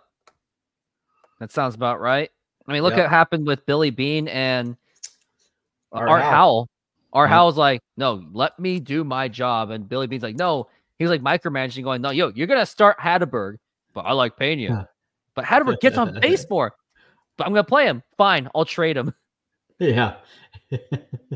I like my favorite part of the Moneyball movie was was was when Paul DePodesta or Peter Brand, Jonah Peter Hill, he looked really nervous. And Bill's like, "Hey, yeah, tell tell Carlos that he's been traded." Wait, what? Me? Part of the job. So he does it. He looks so nervous. Carlos, you have been traded. That's it. no, the Yep, here's the information. the uh, my favorite part of the movie was during spring training where you know uh, where Brad Pitt turns to him and says, "This better work." I'm just kidding. And I think as soon as Carlos Pena walks out, I think deep down he was like, "Yes, I just told him. I just told him. I just said. I just said someone got traded." Oh, Jeremy, hey, what's up? Yeah, you've been traded. Can you imagine the set of balls Billy Beane had to turn down the Boston Red Sox? That's they- they- respect. Yeah, they they were offering the most money, you know, the he to make him the highest paid GM, and he turned them down because there was unfinished business to do in Oakland. And uh, obviously, uh, what's his ass? Uh, uh, why can't I think of his name now? Uh, you know, the the guy who ended up going to Chicago. Um, I don't he's know. now with he's now with Major League Baseball. Uh, uh, Theo Epstein. Theo Epstein steps in and breaks the curse, but uh, yeah, Mariners that- broke that- that curse. That that you have to have a humongous set of balls on you to turn down turn down not just the money, but you know the prestige of the Red Sox of trying to break the curse. But you know what though? That being said, though, if Billy Beane ended up in Boston, you know there's a good shot that they don't break the curse. because of his methods. Well, you know, don't get me wrong. I mean, Theo Epstein employed the same, you know, the same methods. It's just, you know, certain things have to conspire in a certain way in order for certain results. And, you know, I I, I think Well it worked pitched. out. It worked out Swing for everyone. I mean, Yeah. Billy Plus, Beane Billy still, Beane's um, he's a minority owner of the Oakland A's. yeah, yeah, he sure is. But you know, I, but then, but then again, you know, he had success in Oakland. We're looking at the one-one pitch, and yes, he did. In seventh inning, he's still in, and here's the pitch, and a swing and a miss, and they're still keeping Miller in. And I would think that, considering how the lead is at 91 pitches, I would think that this is the last inning, and if Oh, there is 100%. one man on base, 100%. Scott Servais is going to pull him out because he just does You're that. probably you're probably right. Oh, hey, by the way, Suarez, uh, you Eugenio Suarez went deep uh, for the Diamondbacks to tie the game, I believe, in the seventh inning. So This is for you, Eugenio Suarez. All right, guys. Goodbyes only. Don't forget it. Stop it. I miss that so much.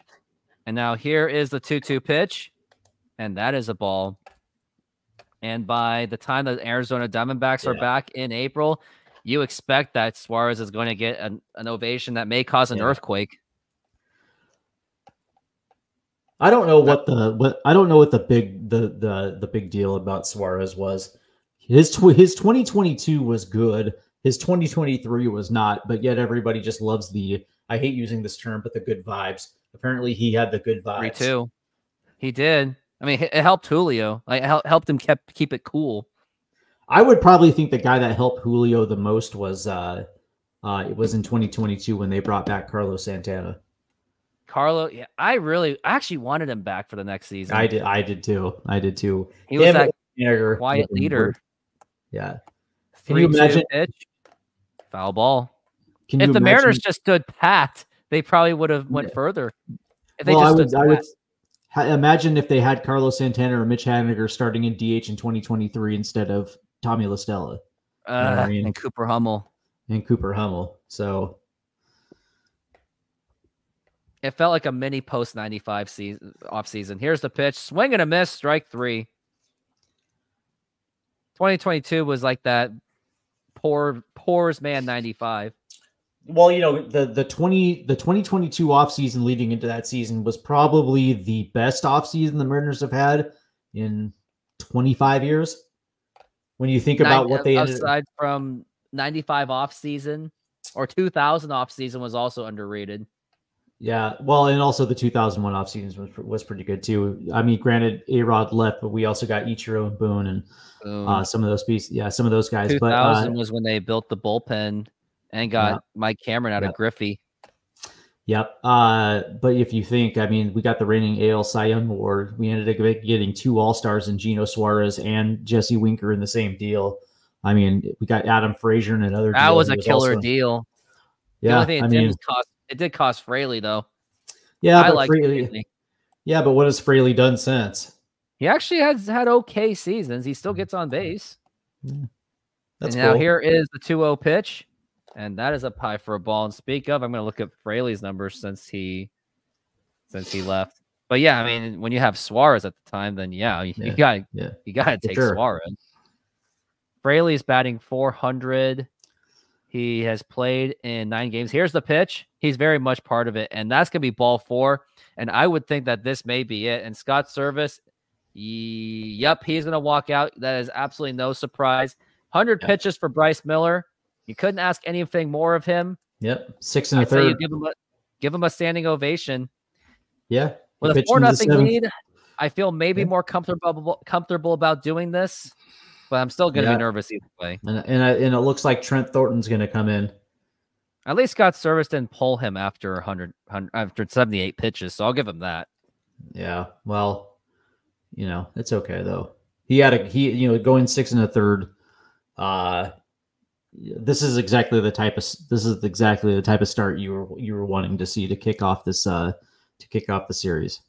So yeah, Bryce Miller deserves every bit of that ovation. Great, great outing out of him. He got four strikeouts, three walks, but Yeah, he made it up. that's okay. by at least making it playable on defense.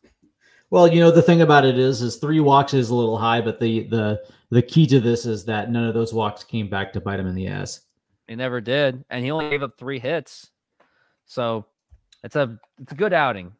But It's now we have outing. Trent Thornton, and hopefully he Yeah. doesn't. He just doesn't screw it up. But Well- it was good. Yeah, Yeah, I, I will say that uh, w- you know they're they're uh, they're going into the strength of their bullpen. Uh, Trent Thornton, Gabe Speier, uh, Ryan Stanek. The you know the, it, it's set up it's set up especially with the off day yesterday. The bullpen, you know the uh, the entire bullpen's going to be available. So, uh, you know, right now Chicago is going into the uh, what I like to call the teeth of the bullpen. So yeah. Yeah, they are. Oh, the blizzard! Stop it! No, I'm definitely getting blizzards a lot this summer. Unfortunately, they're Oh yeah, that's right. Yeah, that's right. You're a Blizzard guy. Heavy. I like the. I uh, I that's the thing is I'm a Blizzard guy, a Reese's Reese's peanut butter cup I do Blizzard guy Oreos. Oreos with are with, he- with heavy with with heavy buttercup. Woo! And Love now we got Trent buttercups. Thornton from the bullpen. In six games, he has a 1.50 ERA, three strikeouts, no walks. Yeah, off to a pretty good. good start this season. Here's the He's pitch, good. and that is a strike. And he does have a pretty good fastball too. He does. He's got a little bit of a funky delivery, but It's effective. It is. Mariners got him from the trade last season. Now here's the pitch, and that is popped up and fouled. I thought he was a. Uh, I thought the Mariners picked him up off waivers. That's possible too. Yeah, because I think he was DFA'd by Chicago. Bryce Miller looking very happy. He's vibing with George Kirby. George Kirby's been having a struggling start. Here's the pitch, and that is fouled. But you would think that George Kirby is not going to continue that. I mean, and the thing was, it's not like in his last outing it was really his fault. It was just bad defense that it was like those one or two Yeah. plays, and and some guy played Jedi mind tricks on him on first Yeah, base. uh, right. It's not. It has nothing to do with velocity. You know, velocity or spin or anything like that. It was. It, it was the same thing with Castillo. It's like when when things went wrong. It, you know, it it got into his head, and then you know, it's you know the ability to stop the bleeding, and you know, unfortunately, he couldn't. Couldn't do much about it. Yeah. And now here is the 0-2 pitch. And now here's a ground ball foul. We'd love to get out of this inning with the bases, or not the bases, with one man on base. Would love to get out of this inning with a man on base. Yeah. And there's, there's Logan Gilbert also vibing with Bryce Miller. It's a pretty I good bunch. tell-. I got to tell you, all three of those guys, Logan Gilbert, Bryce Miller. George Kirby, are are three goofy looking dudes. They're goofy, but they are some of the best in baseball right. For sure. For sure. Now we're looking at the and the throw to first, and that gets away, and looks like they're going to be a free base. And now Yep. we got a runner on second base. That was just not good heads up play by the Mariners. It was a bad throw and got through Ty France. But at least you have the opportunity to get the strikeout. They're throwing this this throw. Yep, it was a bad throw. It was bounced, and then Ty couldn't even get it because he probably was like shocked when he saw. He's like, "Whoa!" And that got him the free base. And now we're looking at the 0-2, and here is the pitch, and that is fouled, and he is just fighting him off. Like this is where it gets a bit concerning. And even if Thornton gets out of this inning quickly, I still think that he's they're still going to get another pitcher in. Yeah, that ball was, uh, you know, that ball down the right field line. was, you know, to Ty's right, uh, and he had to go over the body uh, of the base runner, and of course, you know that was just a terrible And throw that was Thornton. up high for a ball. Looks like Thornton just didn't want to pitch a strike on that one. I mean, when you have that cushion, I can't blame him.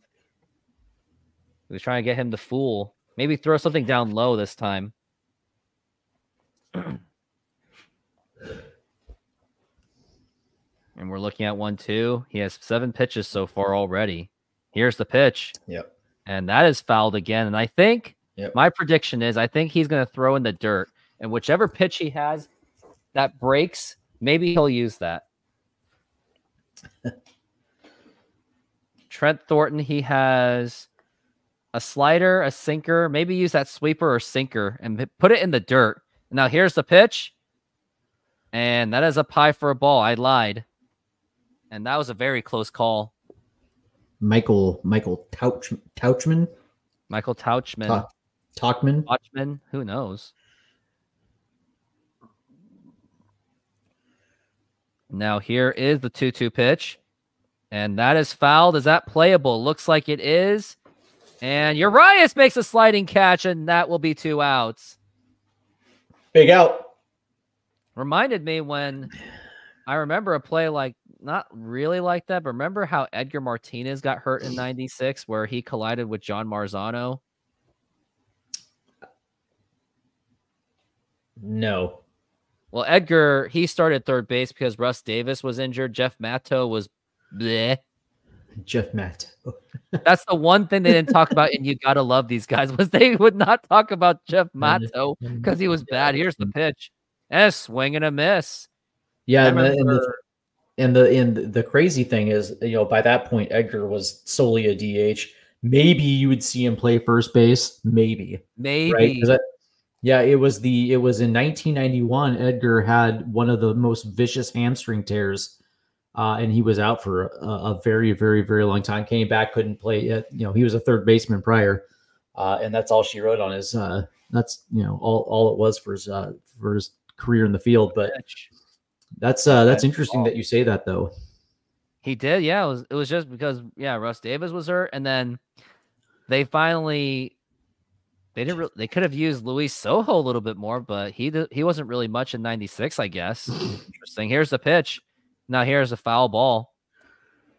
But then they traded for Dave Hollins, and they it did cost. Ortiz or David Arias, Yep, I remember Dave Hollins. Yeah, and then they didn't even bring him back because they're like, yeah, Russ Davis is our guy. Russ Davis Had a good bat. Here's the pitch. Eh, he was okay. Bat okay bat, but terrible defense. Yeah, the the guy the guy preceding uh preceding uh Russ Davis uh ended up being David Bell. And you know, Who Bell was a little bit better. yeah, Bell was actually a Bell was a solid, solid little player, man. Like he didn't have to be that great, but he still That's true. exceeded the expectations. And he Mariners got him off of Joey Cora, who then Yep. retired after the season with Cleveland. Yep.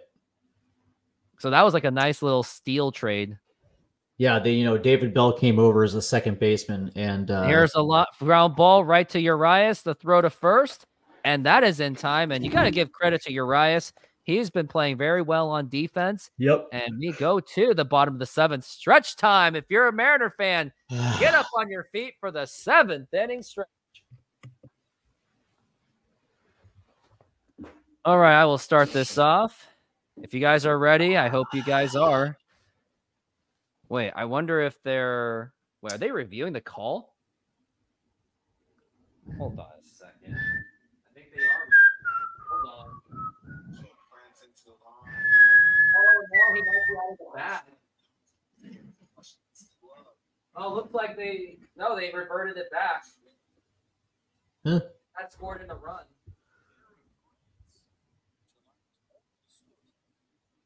Oh wow. I was wrong. I thought it was out.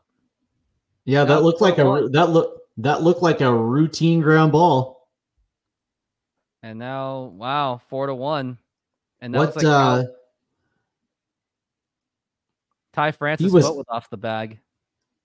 you know, he looked like he was out. Maybe a challenge, Scott? Yeah, it looked like his foot was on the bag. He was out by a mile. Oh, Wow, he's wow. out. That has to be. Oh, wow. There's no review. No, they just let it through. Wow. And now here's the pitch. And a swing and a miss, strike three. And now that will retire the side. But the Mariners give up a run on something I was Wow. confused about. And now it's time to sing the seventh inning stretch. All right, you started off with that whistle that leads up.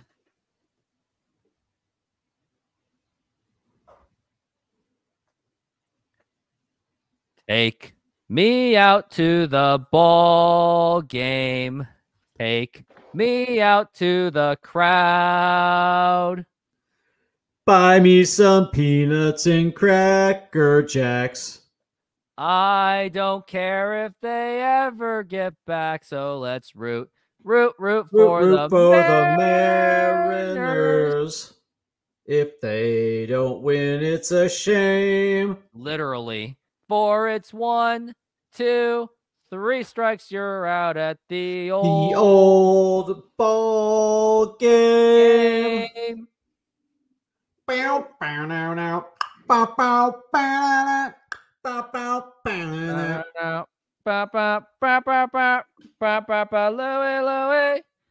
Oh no. Oh, no. no We, we gotta we go. gotta go now. Yeah, yeah, yeah, yeah, yeah, yeah. And it's too bad the Mariners gave up a run because I thought that was out. I wasn't paying on attention. Play, on a play that probably should have been challenged. Hey, Scotty, oh, come on, man. Soft, soft, soft. Because Lou would have challenged that in a heartbeat. He'd be like, no, that's challenge right there. Luda came out of the dugout screaming. before he could call a challenge. And he would have kicked his hat. And then you have Griffey laughing in the dugout, picks up the base, tosses it. CB Bucknor's like, yep. Uh huh. By the way, that was that was awesome. I rem I the the two the the the actually the three that come to mind was when Lou was kicking his hat, uh, which was which was beautiful. Uh, and then there was one where he came out he came out piping hat piping hot, and then he uh he comes out and then he goes to the batter's box and spreads dirt all over the home over home And the plate. umpires, and the umpires just like, I think there's three of them. They're just looking at him going, okay. Yeah. And then yeah, the the one where he uh the one where he picked up the base. That was like his last straw as a manager with the Mariners because he was frustrated not only and Rich Eisen said on ESPN's like, yeah, it looks like he's frustrated that Mariners have had a bad stretch and this happens. So he's Yeah. popped off. Now here's Ty France, got to extend the lead. Here's the pitch, and that is a ball. We had a four run lead. Now it's turned into a three run lead. Still enough a cushion though. You'd We still got- like you would you would still like to see like maybe two more runs. I would like to see two more runs. And now here's the pitch, and that is a foul ball. Ty has yet to ho- hit a home run, but he's not really known to be a home run hitter, at least what he was sort of back in 22 and 21, two of his best seasons in his career. And he is hoping to get back to that form. And now here is the 1 1 pitch and a swing and a miss, strike two. Swing and a miss. It was very Keegan much. Thompson. Keegan Thompson. Or you mean Kenan Thompson? Keegan Thompson, who's on the hill for the Cubs. Ah. And now here is the one-two pitch, and here's a ground ball. Here's Swanson with the play, and I really think either Swanson knew that he wasn't going to run it out, or Ty France could have ran it out. I think it's a bit of both. Dansby, Dansby, Dansby. Swanson. former Atlanta Brave. Oh, he was an Atlanta Brave Yeah, it's, he came up with the Braves. in 2016, and he got to experience a World Series. Now here's the pitch to Haniger, and that's a nice curvy for a, for a ball. He's uh he's actually an Atlanta uh, he's actually an Atlanta grown kid and uh you know came up with the came up with the hometown team. Oh, and they left his hometown team. Maybe Chicago Yeah. must give him a huge amount of bags. Here's the pitch. And here's a fly ball to deep right field, not deep enough. And we got two outs in a hurry. But yeah, 23 could have been the season to give Dansby that contract, but they didn't do it. Yep. And let me see. Where was it? Yep, he was a Georgia kid. Yep, that's for sure. And here is Polanco. Well, I think it also something happening. I think Here's it also co- I think that also uh, coincided with uh, Arcia's uh, emergence as the uh, as the shortstop. So Uh, you know they didn't have to they didn't have to pay Dansby when they had Arcia. here's the pitch, and that is a strike. Nice little curveball. Uh, Polanco has been pitching, has been hitting decent, just a little bit. Oh, that cotton candy. Honestly, I grown to hate cotton candy. So 100%. overpriced. It's just nothing more than a sugar ball. Here's the pitch, and that's foul ball. Yeah, no, it's uh it's gross. Cotton candy. disgusting. Once you get older, it- you realize all these sugary things that you love yeah. when you're a kid, they're just gross with horrible aftertaste. I'll still mess with an elephant ear at the uh at the, uh, Yes. uh, yes at the at the Puyallup Fair. Oh yeah. Yes. One, two. Oh yeah. Swing and a miss. And don't forget those big scones. Oh, Yeah, yeah, yeah, yeah. And someone also sells like these huge plate of fries. It was so big, I gave it to a homeless person. Yeah, the uh the there's there's nothing better than the Puyallup Fair. Nothing better. I'm looking to go to the amphitheater soon. Limp Bizkit is going to be there. I can't believe you're going to see Limp Bizkit. That's funny. I'm thinking about. It. I'm not sure yet, but I'm only going if I have like a convincing group to go with. I'm not going to go alone. I think you'll figure it out and end up going. Probably in some Yeah, way. And it's not like Yeah, I. really want to go. Not like I like all of their music. I don't even I only know like two of their songs, but I can tell that they can put on a show. For for a Durs. yeah, the uh yeah, have you ever noticed something about cotton candy though? It only comes in two colors, right? Blue and pink. Yeah, blue and pink. Yeah, blue yeah, and they pink. should That's change it. it up. What about making like green lime flavor or something? Change yeah, it you know up. what I mean? It, Yeah, it's like it, it but the thing about it is it's always the same flavor. It's like the that bubble gum flavor. Yeah. Yeah, Oh, it's debate. gross. Best value concession food in T-Mobile. Oh, uh um I don't know. You I'm gonna me. say chicken strips and fries are probably your best Oh, value you're ever gonna oh. get. Everything else Yeah. is like nine dollars for like a pizza slice of pizza. No freaking thanks. Yeah, you, you- uh, but also the uh, the Kidd Valley on the hundred level is also, I, and I love Kidd Valley. Kidd Valley is delicious. Kidd Valley has fantastic value too. yeah, but you know, but that's the thing is they don't actually make their burgers there. They you know they cook them somewhere else and they bring them in, and uh, by the time you get a Kidd Valley burger uh, on the hundred level, uh, they do their fries there and everything like that. But you know those burgers that they served at the uh, at the stand there on the hundred level is kind of gross. Eh. Just go to I was gonna s- Chinatown.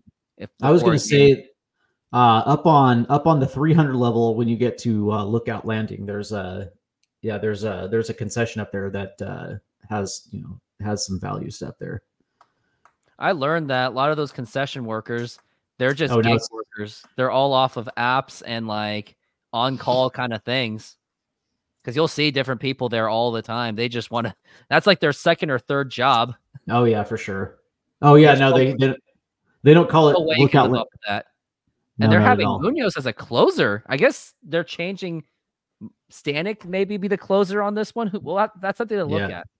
Yeah, it uh it will well Stanek Stanek came out in uh uh that last game uh that last game against uh Toronto. They Yeah. brought they brought Munoz into the tie and then they brought Stanek in to close that thing out. I think Uh, Scott Servais is figuring out that maybe this is the better combination. Probably. And now here's the 0-2 pitch. And a swing and a miss, strike three. See, I think we all agree that this is more of Munoz's role with the less pressure. 'cause Yeah, He doesn't seem to take the pressure well. right. He had But like well, Munoz, Yeah, but that was the that you know that's when he came up. He was you know the the you know the the uh, high leverage reliever six seven eight in the six seven eighth inning, uh, and uh, you know Sewald was the uh, Sewald was the guy. closer. Yeah, and uh, he was effective in that role, and here we are now, and it's looking like he's uh, getting off to a, a pretty solid start. Yep, this is the Munoz that we would like to see. And now here's Cody Bellinger. Can he do damage on Andres Munoz? Hit probability at 22%. Here is the pitch. And now here's a fly ball to left field. Dylan Moore, he is there and he makes the catch. And Yep. we've got two down already. And Munoz already pitching fantastic. And I really Mhm. do think after this inning, it's going to be Ryan Stanek or I, I think it's going to be Ryan Stanek. Yeah, it's probably going to be Stanek. Uh, Jackie well, it all depends. It all depends. Well, no, because here's uh, because that was uh, the strikeout was to Suzuki, and I think this is uh Bellinger. Bellinger. Yeah, and then who's after Bellinger? After Bellinger, it is going to be Morel. More okay, yeah. So then, uh, yeah, it's probably going to be Stanek. Yeah, I probably assume. And it's going to be a 1 1 count. Christopher Morel has three home runs right now, 10 RBIs, but he's 0 for 3 in this game. And here is the pitch. And that is low. And Munoz is trying, is kind of losing just a bit. It was only Well, like he's one. probably just staying away from him. Yeah, because he has a really big bat. Munoz has got that Jose Mesa kind of positioning. And now here's the 2 1 pitch, and that is fouled. 98 mile an hour fastball. You're not really seeing the hundred, so maybe it he lost some little bit of zip, maybe because it has something to do with that injury from last season. No, I think probably uh, you know he can touch triple digits. I don't think that's his average. I think his his average is you know 98 to 100. So it probably sits somewhere at 98, 99. I remember when he threw that 103, even Vlad Yeah. Guerrero was like, "Whoa!" Yeah, he can t- do. He can touch triple digits. I remember back in the old days, touching triple digits was like, "What? He just did that?" And now it's like, "Eh, it's just regular practice now." Now here Yeah, is that-. And a I don't- swing and a miss, strike three, and that will retire the side. Good outing by Andres Munoz. I'm not a fan of. I'm not a fan of pitchers try throwing max. Throwing max heat. It puts so much stress on their arm and shoulder. Yeah, and there is someone that came up with a good point with like all the all these horrific injuries that are happening to these pitchers, and the best theory is more spin on the lot more spin on the pitches and a lot more gas being thrown. Yeah, that's exactly right. It's it's max velocity, and you see a lot of these pitchers that are throwing hard all the time. Uh, and of course, pitching is a is an unnatural thing for you know human you know humans to do. And so with the and that that's the development now, where you know in the old days, usually a, a a starter would be like ninety two to ninety four, uh, and uh, would have an arsenal of pitches. Uh, and uh, you know they didn't you know they didn't they weren't constantly throwing gas. And today now the emphasis is on velocity max velocity and, and high spin rates. Uh, and also when you couple when you couple that with the fact that you know they don't do a lot of throwing between starts. You know what i mean? So that you know i, I think it's a, i think it's a combination of not keeping your not keeping your arm loose between starts. And then also when you are starting uh you're you know basically however long in your game i mean you're going max you're going max velocity Oh, so, So- they're not even like practice pitching like in between the games. Yeah, like yeah, like uh like in the old days, you would have a bullpen between starts where you would where you would throw a simulated, you know, for uh, however many innings, And then when you weren't throwing bullpens, you were taking long toss. You know what I mean? Where you would Oh, just keep that, you would just keep your arm loose.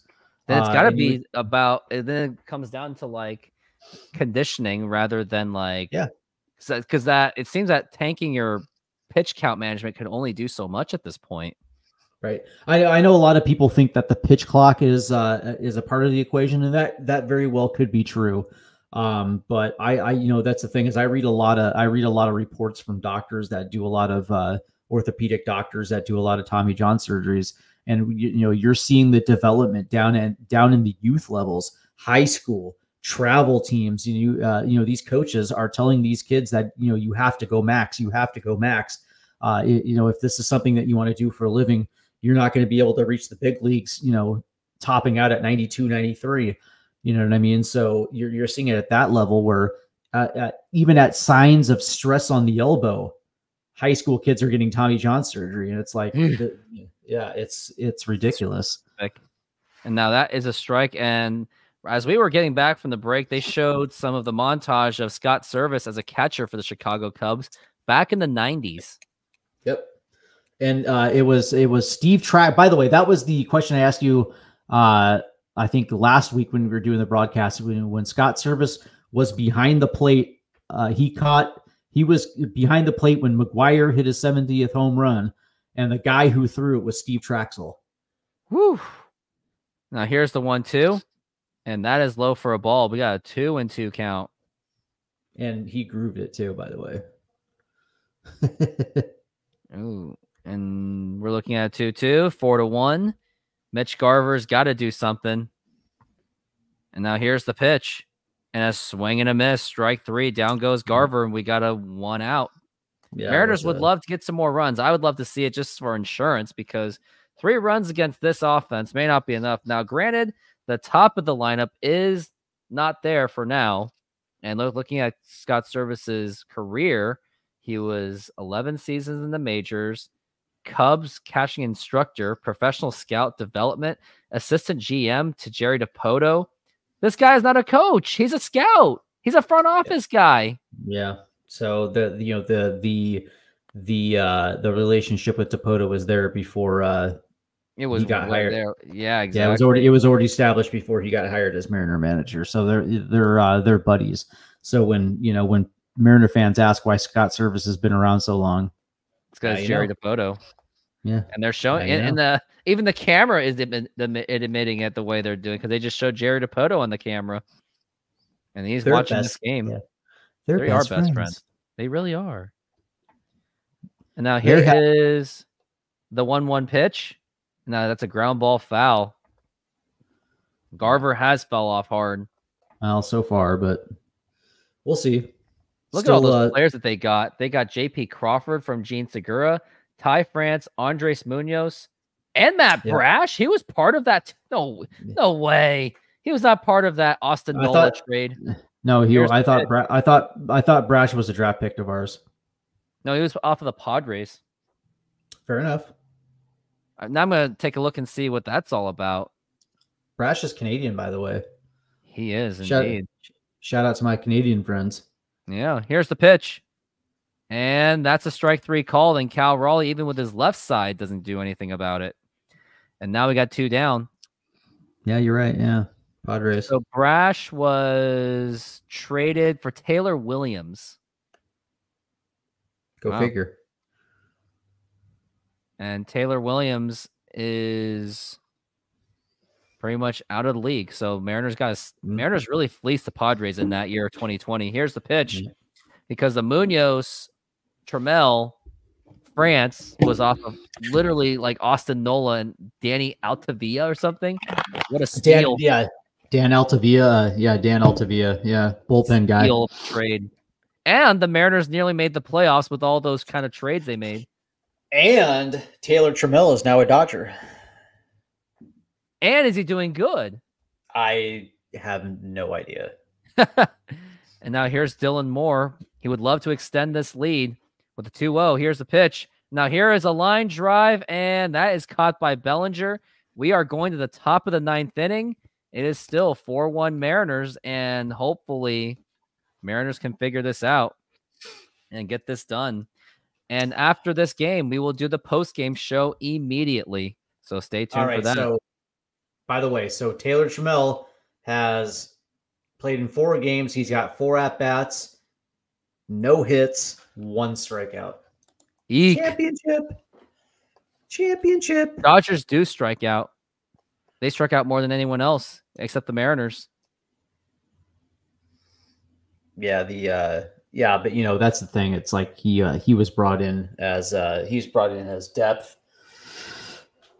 Uh you know that's you, you know that's normal. Uh, a guy like Taylor Trammell is always going to get picked up off of waivers, and uh, you know, yeah, why not? Why not? Makes sense. Makes sense. Can't wait for Brash's return. And hopefully he'll be at least hopefully he won't do things like 2023 Andres Munoz. We want the 23 Matt Brash. Well, the the the thing about it is, it's going to be interesting to see how that bullpen re, uh, gets reshuffled uh, once Brash and uh, um, Santos. Santos get bats. Thank you. Uh, now, is the knee jerk reaction going to from Scott Servais going to be putting Matt Brash in as closer? Which here's the thing, like I haven't. I was thinking of Santos as a closer because as much as I love Brash, Brash is a very erratic pitcher. If uh, you know, that's the thing. It's between now and then. If Stanek, it, it- you know, if Stanek comes in and does a good job, you might as well just keep him right, keep him right where he is.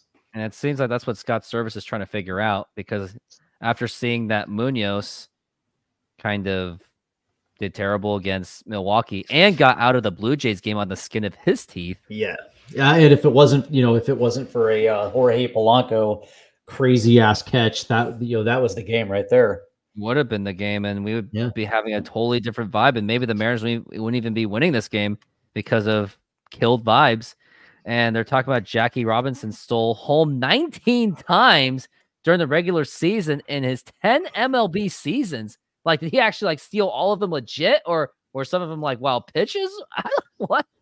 Jackie was a badass man, and you know uh, that's the thing. It's like, uh, uh, yeah, I, I would probably, I, I would probably, I would probably assume that uh, the, all those 19 stolen bases were legit steals. And they're showing boy. that game one World Series highlight of Jackie Robinson stealing home and Yogi Berra really gave the umpire the piece of his mind. But now here is Stanek, and we are correct. Let's see if Yep. he can be the closer. Here's Dansby Swanson. Check swing. Did he go? Yes, he did. Uh, yes, with Brash, yeah, with Brash and Santos, uh, it probably is the best bullpen in the league. Uh, what do I think of Kevin? Uh, what do I think of T- Apple TV broadcast? Good visuals. I'll give him that. Play by play, I haven't really paid attention to because I'm doing my own play by play. Dontrelle Willis. Dontre Willis with that weird windup, which some would say arguably killed his career. Now you know what you know what killed his career? The fact that he didn't have secondary pitches. He was He's just throwing gas. guy, Yeah, he was throwing gas. and that pretty much just killed his career. Yeah, he got exposed. Just like Yeah, Felix, sure. he threw gas way too long, and he threw I way too much gas. I remember when Dontrelle broke in, uh, he had a, a big advantage over the league, and there was uh, you know, there was a lot of hype behind him too when he broke in. One two Uh, pitch, and that is a ball two and two. He pretty much carried that Yeah, Marlins team. one of Yeah, well, it was also Josh Beckett. You forget, like, yeah, Beckett was on that team. Josh Beckett, Derek Bell, Yeah. Mike, Yeah. Mike Lowell, Mike Lowell. Yep. Juan Pierre. Juan Pierre, Luis, Cas- the other Luis Castillo. Here Yep. is the pitch. Oh, and uh, what's his uh, uh, what's his uh, the short the shortstop um, who ended up in Boston. Uh, It's not Alex Gonzalez because that's a Cub. no no no no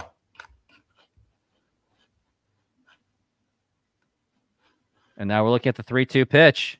And now here is a fly ball. No, that'll be okay. Dylan Moore is there and he makes the catch. We got one down. I'll look it up too. 2003 Marlins. Don't forget Pudge was on that team as well. mhm. Alex Gonzalez. So there were two Alex Gonzalez at, Oh, at a time. And Alex Gonzalez is one lucky guy. If it wasn't for Steve Bartman, he would have been the Steve Bartman of that A- NLCS. that one killed it more than anything else. Here's the pitch. Like imagine if Alex Gonzalez made that double play for the Cubs. Steve Bartman is immediately forgiven. They forget about everything. Yeah.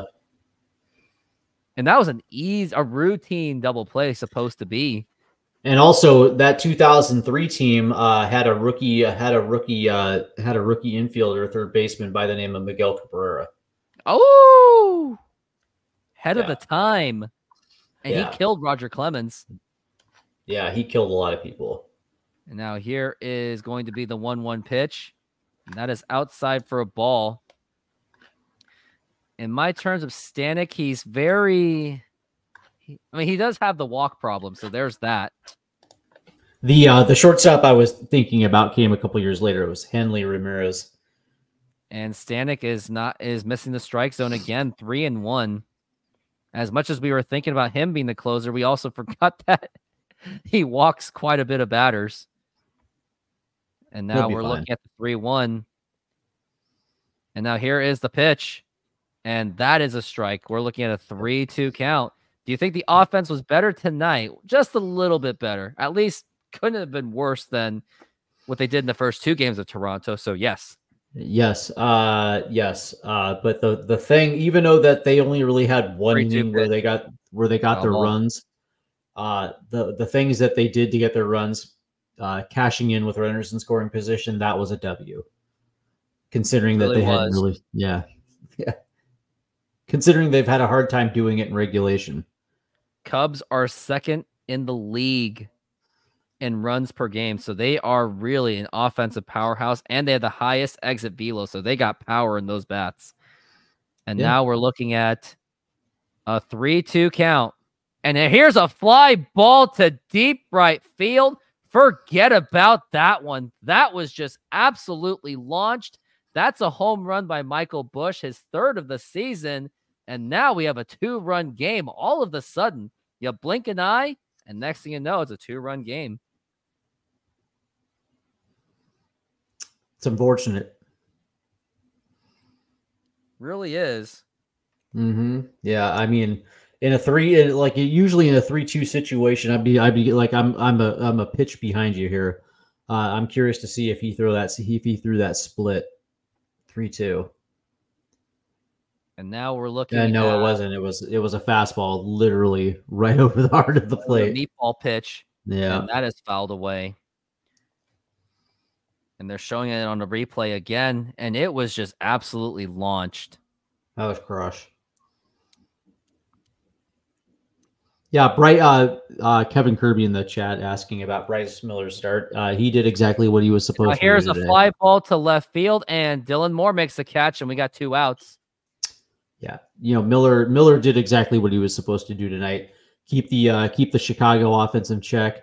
Uh, and he, uh, you know, he he, you know, he did his he did his job, man. He was locating very well uh, with his secondary pitches, and you know, there's a reason why, uh, you know, Miller went six and a third tonight. And now we're at two outs. And just want to say thank you very much for being on this show. 150 views total. Casamigos tequila. Those are very pricey. Now here's the pitch. And that is a foul ball. Casamigos is nice though. I haven't had one, but I know people that that like it. Yeah, it's good. I'm a tequila guy by nature, so yeah, Casamigos is okay. It's not Don Julio, but not a lot is. Now here is the 0-1, and that is outside for a ball. We're looking at a one and one count. And yes, let's go. Let's let's put in that let's go Mariners on that chat. Let's do it. If you're not, you better be sending those donations for this for this uh, content. And now we're looking at the one-one, and here's the pitch. And a swing and a miss, and a nice 98 mile an hour fastball, strike two. Down to the final strike. Bryce Miller with an absolutely amazing starting effort. Julio Rodriguez put in those two runs. You, Luis Urias took one for the team. Ty France Yep. got the hit. Yep. Munoz was fantastic as a setup man, which I think that's more of his role. And now we're looking at the one two count. And now here is the one two pitch on the way, and it's foul ball. I really was hyping that up. And now Yep. we got a we still got a one two count. Fans in the background, they're all standing up. They want this game to end. They're doing the oh, oh, oh, oh, oh. I'm pretty sure. And now we are looking at the one, two count. And here's the pitch. And that misses it for the ball. Cal Raleigh's like, come on, I want to go home. We want to go home too. I want to go out for a walk in the neighborhood after this. I want to go to bed. He wants to go to bed. Come on, umpire. Don't you want to go to bed? And now here's a 2 2. And now here's a ground ball, and this should do it. The throw to second, toss to second, and the ball game is over. The Mariners will win this one. They have won two in a row off a 4 2 victory against the Chicago White, White Sox. You know, Cubs. you know what that means, though, right? They've won two in a row. That is what we like to call a winning streak. So let's get some hustle and jack it up a little. it's not a it's not a leg thing. thing. Or a spiritual thing. Or a or heart a attack. thing. Or a heart attack. Who has heart attack? Me. Me. And he just collapses. Oh, poor guy. He definitely died on that bed. Like the moment he was like, I love this thing. I'm going away. The moment he jumps out, I yeah. think that's when his heart finally just went. I love this thing. I think I'm moving to England. And he's gone. Yeah. It's unfortunate. Lou oh, Brown, yeah. we love him. Lou Brown. Lou Brown. But now we're going to let's get that post game show going because we gotta get you to bed and we'll try to cap it to less than 10 minutes. I'll do my best. But let's play a quick ad before we do a post game show. SeatGeek is a mobile ticketing app for sporting events, concerts, and other events. They make the buying experience easier by the app ranking each ticket from 0 to 10 to see if you are getting a good deal, and you can see exactly where you are sitting. I regularly use that app, and I have had nothing but a fantastic experience with SeatGeek. Use my promo code Rooftop Sports to get $20 off of your first purchase. Link to the code, app, and website will be in the description, so take advantage, and thank you.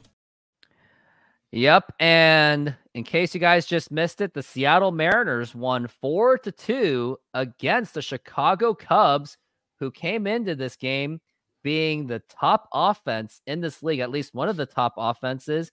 Great starting pitching by Bryce Miller, RBIs by Luis Urias, taking one for the team, a two run RBI single by Julio Rodriguez, and Ty France adding some insurance.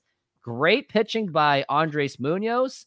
Little iffy pitching by Trent Thornton before Andres Munoz, and then Ryan Stanek with the save. Unfortunately, gave up the home run, but the Mariners did come away with it. And must I say, Bryce Miller did pitch a pretty good game, at least with four strikeouts and three walks. Take me your thoughts, Steve.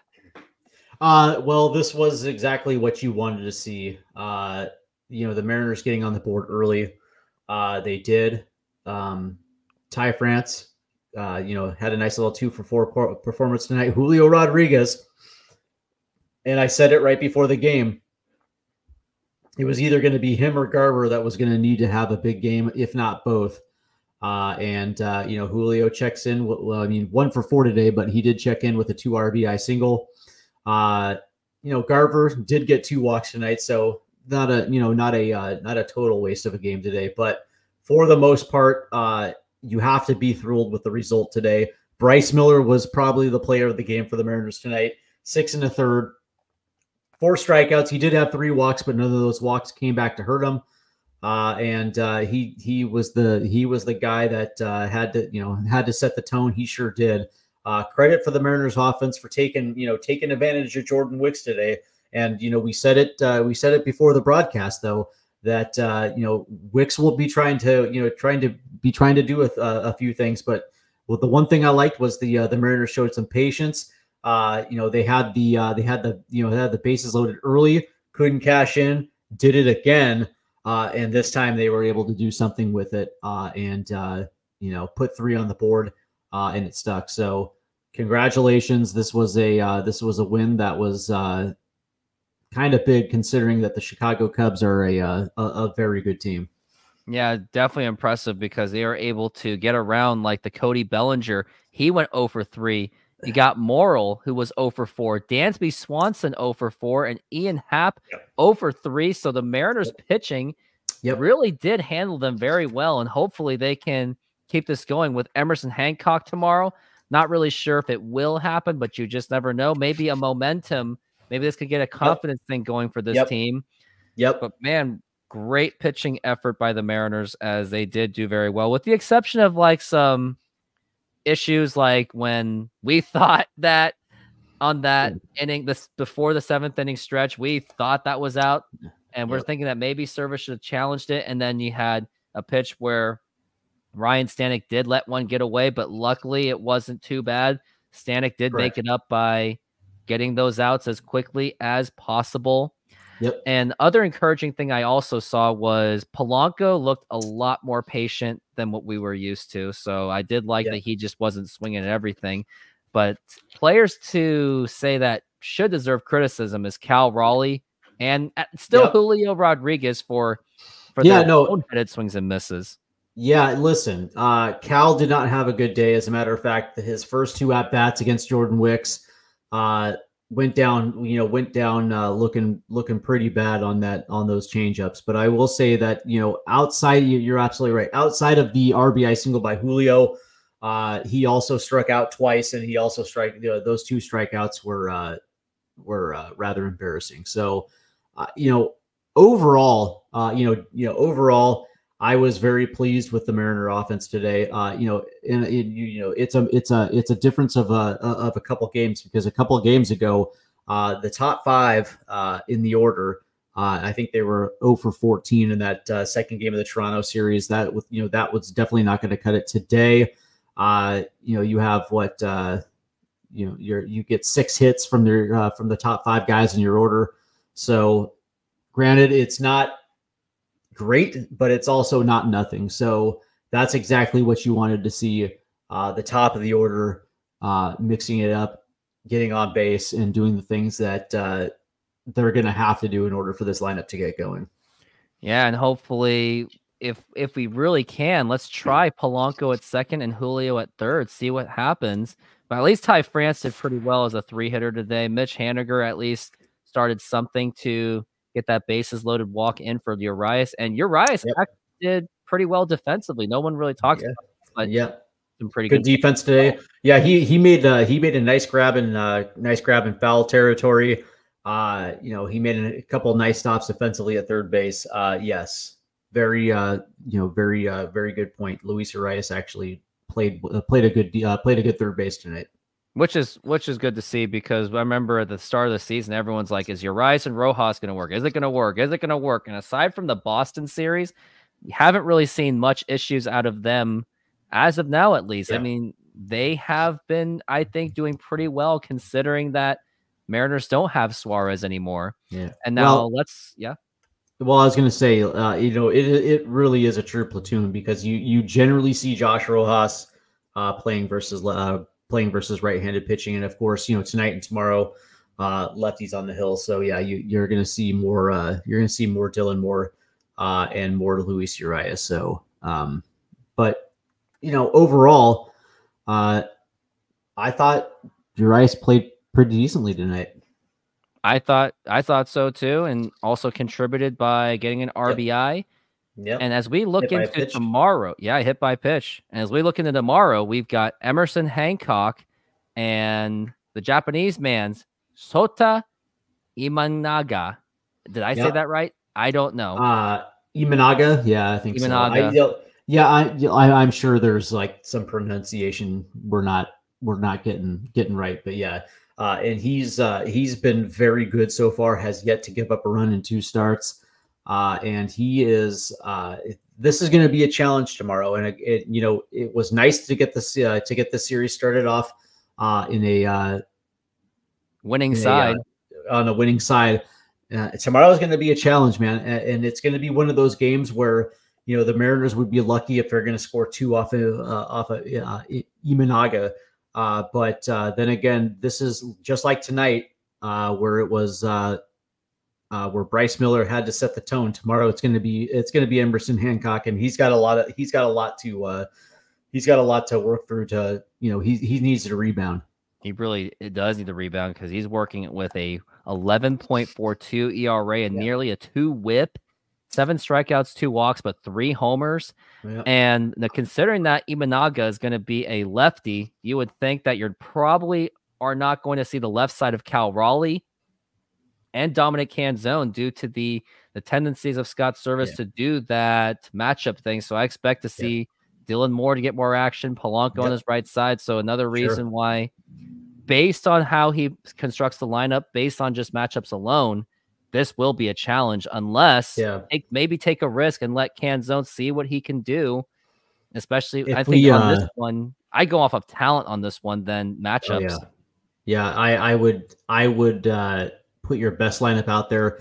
Uh, that you know, that being said, I wouldn't even mind seeing uh, Luke Raley uh, get some at bats versus lefties tomorrow. He I- I will- at-bats. Well, he he desperately needs at bats. He's only got like what uh, uh, uh, like ten exactly. plate Not, appearances. not even like, played. like- not even played enough. Yeah, Yeah, he's like he's got like you know that's that's what's head scratching because I mean you know the what what are you gonna do with Raley? I mean he's only got like something like ten plate appearances so far in the season, uh, and it's you know it, it literally makes no sense to me. You know why you know why why do you have him on the roster if you're going to keep him sit you're you're keep him sitting for six days a week and it's not like you can't figure out a way to get him in the lineup because you can uh, you can, you know, you can play him. You uh, you can play him in right field and move, you know, Haniger to the DH if you want to give him at bats. Same thing with uh, same thing in left field with Dom Canzone. Uh, and it's not like you're really taking away at bats from anybody uh, in left field, right field, or at DH because you know what, those guys are still going to get their five starts per week. So you have to give Luke Raley some at bats just to see what you just to see what you have.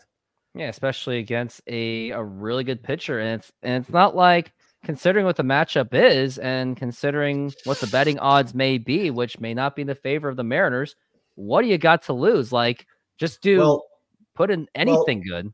Well, when you look at Raley splits, he, you know, he's hit lefties at every single level. So it's, you know, there there has to be, you know, there has to be some plan with Raley.